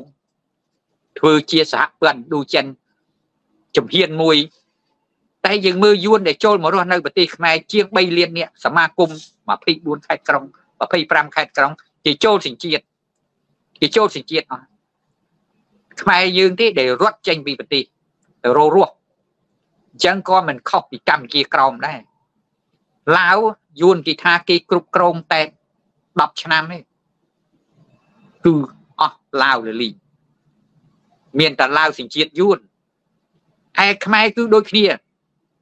ក្នុងរយៈពេល40ឆ្នាំមកនេះខ្មែរសញ្ជាតិយួននឹងវាច្រើនមន្ត្រីរាជការ80%ខ្ញុំហ៊ានទាយ ព្រោះខ្ញុំធ្វើការជាមួយខ្ញុំដឹងហើយគិនតែដូរពីជំនាញការមកជំនួយការដូរតែប៉ុណ្្នឹងទេបាទតែយួនដដែលចឹងបានយើងមើលឃើញក្នុងថ្ងៃទី13ទី12 13ខែកក្កដានេះហ៊ុនសែនមានសិទ្ធិដែលជាមេបកប្រជាជននេះកាត់ដីឲ្យយួនគ្រប់គ្រង4ខេត្តជាស្ថាពរដែលមានប្រជាបរិវត្ត 50ម៉ឺននាក់ចឹងគឺធ្ងន់ធ្ងរណាស់ចឹងខ្ញុំសូមប្រាំឲ្យបងប្អូនកូនខ្មែរត្រូវតែងើបឈរយើងមិនអាចឲ្យប្រទេសជាតិយើងคล้ายទៅជានគរចម្ប៉ាទៅទៀតបានទេចម្ប៉ាសប្ថ្ងៃគេហៅម៉ុងតញ្ញាយួនបណ្ដេញចេញពីប្រទេសរាល់ថ្ងៃយើងមើលមក UN ជាង1លាននេះសប្ថ្ងៃនេះដែល UN ទទួលជាង1លាននេះម៉ុងតញ្ញា បាទយួនក៏គេមិនឲ្យសញ្ជាតិភាសាយួនក៏អត់ចេះគេថាជាជនជាតិអត់ប្រទេសខ្មែរយើងគឺឈានទៅដល់ម៉ុងតញ្ញានៅផ្នែកអនាគតខាងមុខនេះអញ្ចឹងយើងយើងថាម៉េចបានលោកឯងហ៊ានទាចុះយើងមើលចំនួនដីឆ្លីនៅខេត្តមណ្ឌលគិរីខេត្តមណ្ឌលគិរីឃុំពុលោកជាង300គ្រួសារ ថ្ងៃទី17កិតយកញ៉ាត់ទៅដាក់ដើម្បីសុំដំណោះស្រាយពីក្រសួងមហាផ្ទៃសួងមហាផ្ទៃបដិតែកិតយកញ៉ាត់ទៀតទៅដាក់ព្រះមហាក្សត្រទៀតគេអត់ទទួលទៀតគ្មានទ្រិតដោះស្រាយទេយកទៅដាក់រដ្ឋសភាទៀតក៏គេបដិសេធគណៈរដ្ឋមន្ត្រីក៏គេបដិសេធទៀតអញ្ចឹងគាត់ថា4 4ស្ថាប័ននេះគេមិនទទួលដោះស្រាយទេអញ្ចឹងគេសញ្ញេពីថ្ងៃ12 13នោះគឺឲ្យយួនអ្នកចាត់ ចាត់ចែងហើយបញ្ជាឲ្យច្បាស់អញ្ចឹងបានមានតែផ្លូវមួយទេបងប្អូនខ្មែរដែលរស់នៅឃុំពូលុទៅចងមុងដេកមុខសាលាខេត្តទៅដើម្បីទៀមទាដីដីកប់សពដីព្រីជំនឿដីសហគមន៍ដីកសិកម្មប្រចាំគ្រួសារនិងដីភូមិដែលធ្លាប់រស់នៅបើអញ្ចឹងទេយួនបណ្ដេញចេញទៀតហើយបាទអានឹងខ្ញុំសូមប្រែ5ប៉ុណ្ណឹងបើស្នាជាមិនធ្វើដូចអ្នកខេត្តសៀមរាបទេ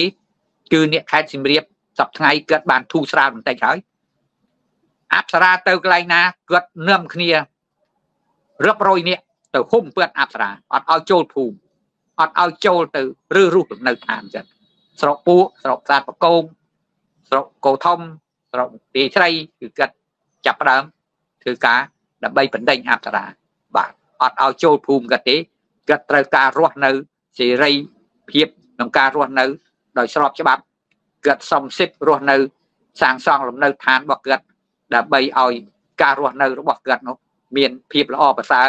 គាត់ចង់ប្រកបមុខរបរសម្រាប់ការរស់នៅលើដីកំណើតភូមិរបស់គាត់ដោយត្រឹមត្រូវគាត់អត់ទៅលុបពៀនអ្នកណាទេអញ្ចឹងគឺសូមឲ្យបងប្អូនកូនខ្មែរត្រូវតែតស៊ូទី2ដូចជាបងប្អូននៅខាងខេត្តកោះកុងអ្នកស្រីផៅញើងគឺគាត់សឹកចិត្តស្លាប់ រយៈពេលជាង10ឆ្នាំនេះគឺទោះបីនេះឯងដោះដូរដីពីឃុំមួយទៅយកពីឃុំថ្មបាំងឲ្យដេញគាត់ពីឃុំថ្មបាំងទៅយកដីអ្នកអឺណាផ្សេងទៀតក៏អត់យកទេគាត់ទៀមទាតែដីរបស់គាត់ព្រោះដីនោះដីគេមានម្ចាស់យកគាត់ពីនេះទៅឆ្លោះនឹងអ្នកនោះយកពីអ្នកនោះទៅឆ្លោះនឹងអ្នកនោះទេដូចនៅរុនតឯងឯងយកអ្នកក្រុងស៊ីមរៀបយកអ្នកទៅទៅ ទៅយកដីអ្នករុនត្អែកវះចែកគ្នាដូចថាដើម្បីអភិវឌ្ឍអ្នករុនត្អែកក៏អស់ដីចង្ការទន្លងលលីងហើយអ្នកទៅពីសៀមរាបនេះក៏អស់ផ្ទះមកនៅផ្ទះជួលដដែលអានេះដែលជាគំរូយើងមើលឃើញពីអំពើអាក្រក់របស់ក្រុមគ្រួសារតកូលហ៊ុនក្នុងការប្រើប្រាស់ពីអភិវឌ្ឍវត្តខ្ទេចវត្តខ្ទីបាទមិនមែនវត្តសម្រាប់ការរស់នៅទេហើយដូចវត្តទៀតនេះ ពាក្យថាវត្តនេះទៅរៀបអាចារ្យទាំង5000រូបដើម្បីនៅគ្រប់គ្រងលោកលោកណាមិនអនុវត្តតាមបរិយាជនគឺបណ្ដេញចេញពីវត្តតាមអាចារ្យអាចារ្យ5000នាក់នោះអាគេហៅអាចារ្យដេជូនោះហើយនឹងអាសង្ឃ7មករានោះអាសង្ឃឌីរិឆានឯងសុំពពាវនាបងប្អូនកុំយកបាយយកទឹកទៅដាក់វត្តនោះឲ្យសោះឈប់ទៅអត់បានប្រយោជន៍គ្មានបានបន់ទេបាទអាវត្តណាដែលវាធ្វើតាមផែនការយួនធ្វើតាមផែនការប៉ះ គឺសុំបងប្អូនកុំទៅចូលរួមបាទវត្តផ្សេងផ្សេងទៀតមានដូចខេត្តសៀមរាបនេះលោកសុខចិត្តវិចបង្វិចដោយចេញដោយសារលោកបង្រៀនសិស្សដោយឥតយកលុយកូនសិស្សដែលក្រីក្រ កូនប្រជាពលរដ្ឋខ្មែរដែលក្រីក្រគ្មានគ្មានថវិកាគ្មានអឺអីដែលអាចចូលរៀនសាលាបានគឺគាត់ឲ្យកូននោះមករៀននឹងលោកបាទអញ្ចឹងគឺយើងមើលប្រវត្តិសាស្ត្ររបស់យើងវត្តដែលជានិរសានៅ អសរសាស្ត្ររក្សានៅវប្បធម៌ជាតិវត្តគឺមិនបានយួនវាតូចចិត្តក្នុងឆ្នាំ1942គឺមកពីសម័យសង្គ្រាមឆ័ត្រលោកតវ៉ាមិនអោយបារាំងនេះលុបអសរសាស្ត្រខ្មែរហើយទៅសេអសរឡាតាំងដោយអសរជាមួយយួនសប្តាហ៍នេះគេហៅអសរអាណានិគមអេនឌូចិននោះអញ្ចឹងបងប្អូនត្រូវស្វែងយល់ពីចំណុចនេះយើងមើលអ្នកណាអ្នកតស៊ូគឺលោកដែលបានអសរសាស្ត្រនៅដល់សប្តាហ៍គឺលោកអញ្ចឹងយួនវា មើលឃើញហើយអញ្ចឹងបានវារៀបវត្តនោះកុំឲ្យមានលោកណាដែលចេះដឹងពីវប្បធម៌ជាតិរក្សាអសរសាស្ត្រជាតិរក្សាភាសាជាតិគឺអានឹងគឺជាផែនការរបស់វា ដែលជ្រៀតជ្រែកចូលទៅតាមអឺសមាគមយួនដែលជារដ្ឋាភិបាលស្រមោលរបស់យួន ដែលគ្រងនឹងបង្កើតសហព័ន្ធដូចចិនជំហាន2គឺបើគេធ្វើជំហាន2ទៀតគឺអស់ហើយបាទ សប្ថ្ងៃយួនមករស់នៅខេត្តសៀមរាបរឹកសែនគ្រួតាទៅតាមរយៈក្រុមសោកគង់ហើយថ្ងៃគេចូលជាអប្សរាទៀតដេញខ្មែរចេញពីពីភូមិឋានរបស់ខ្លួនយើងមើលឃើញពួកខ្ញុំនៅក្រុងភាសាខ្ញុំដឹងហើយថាណាណាសញ្ជាតិណាណាសញ្ជាតិណាហើយពួកនេះគេអត់ដែលហ៊ានទៅសេប្រវត្តិរូបថាអុកញ៉ានេះមកពីខាងណាប្រវត្តិរូបគាត់នៅណារៀននៅណា នៅសាលាណាគ្រូណាអត់មានទេបាទគឺជាក្រុមចោរកម្មយួន ដែលគេហៅកោ85នេះឯងបាទកោ85នេះគឺជាចារកម្មរបស់យួនមកសងៃមកកើតអុកញ៉ាអស់ហើយបាទអញ្ចឹងខ្ញុំសូមអស់យោបល់ឲ្យសូមផ្ដាំផ្ញើប៉ុណ្ណឹងបាទសូមអរគុណសូមជម្រាបលា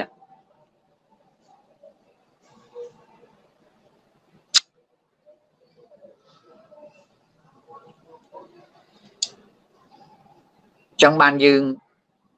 ទាំងអស់គ្នាគឺសូមឲ្យចងចាំថាបើបងប្អូនខ្មែរមិនក្រោកឈរ បើបងប្អូនខ្មែរមិនធ្វើអ្វីសោះដូចសម្ដីលោកបណ្ឌិតកែមលីក៏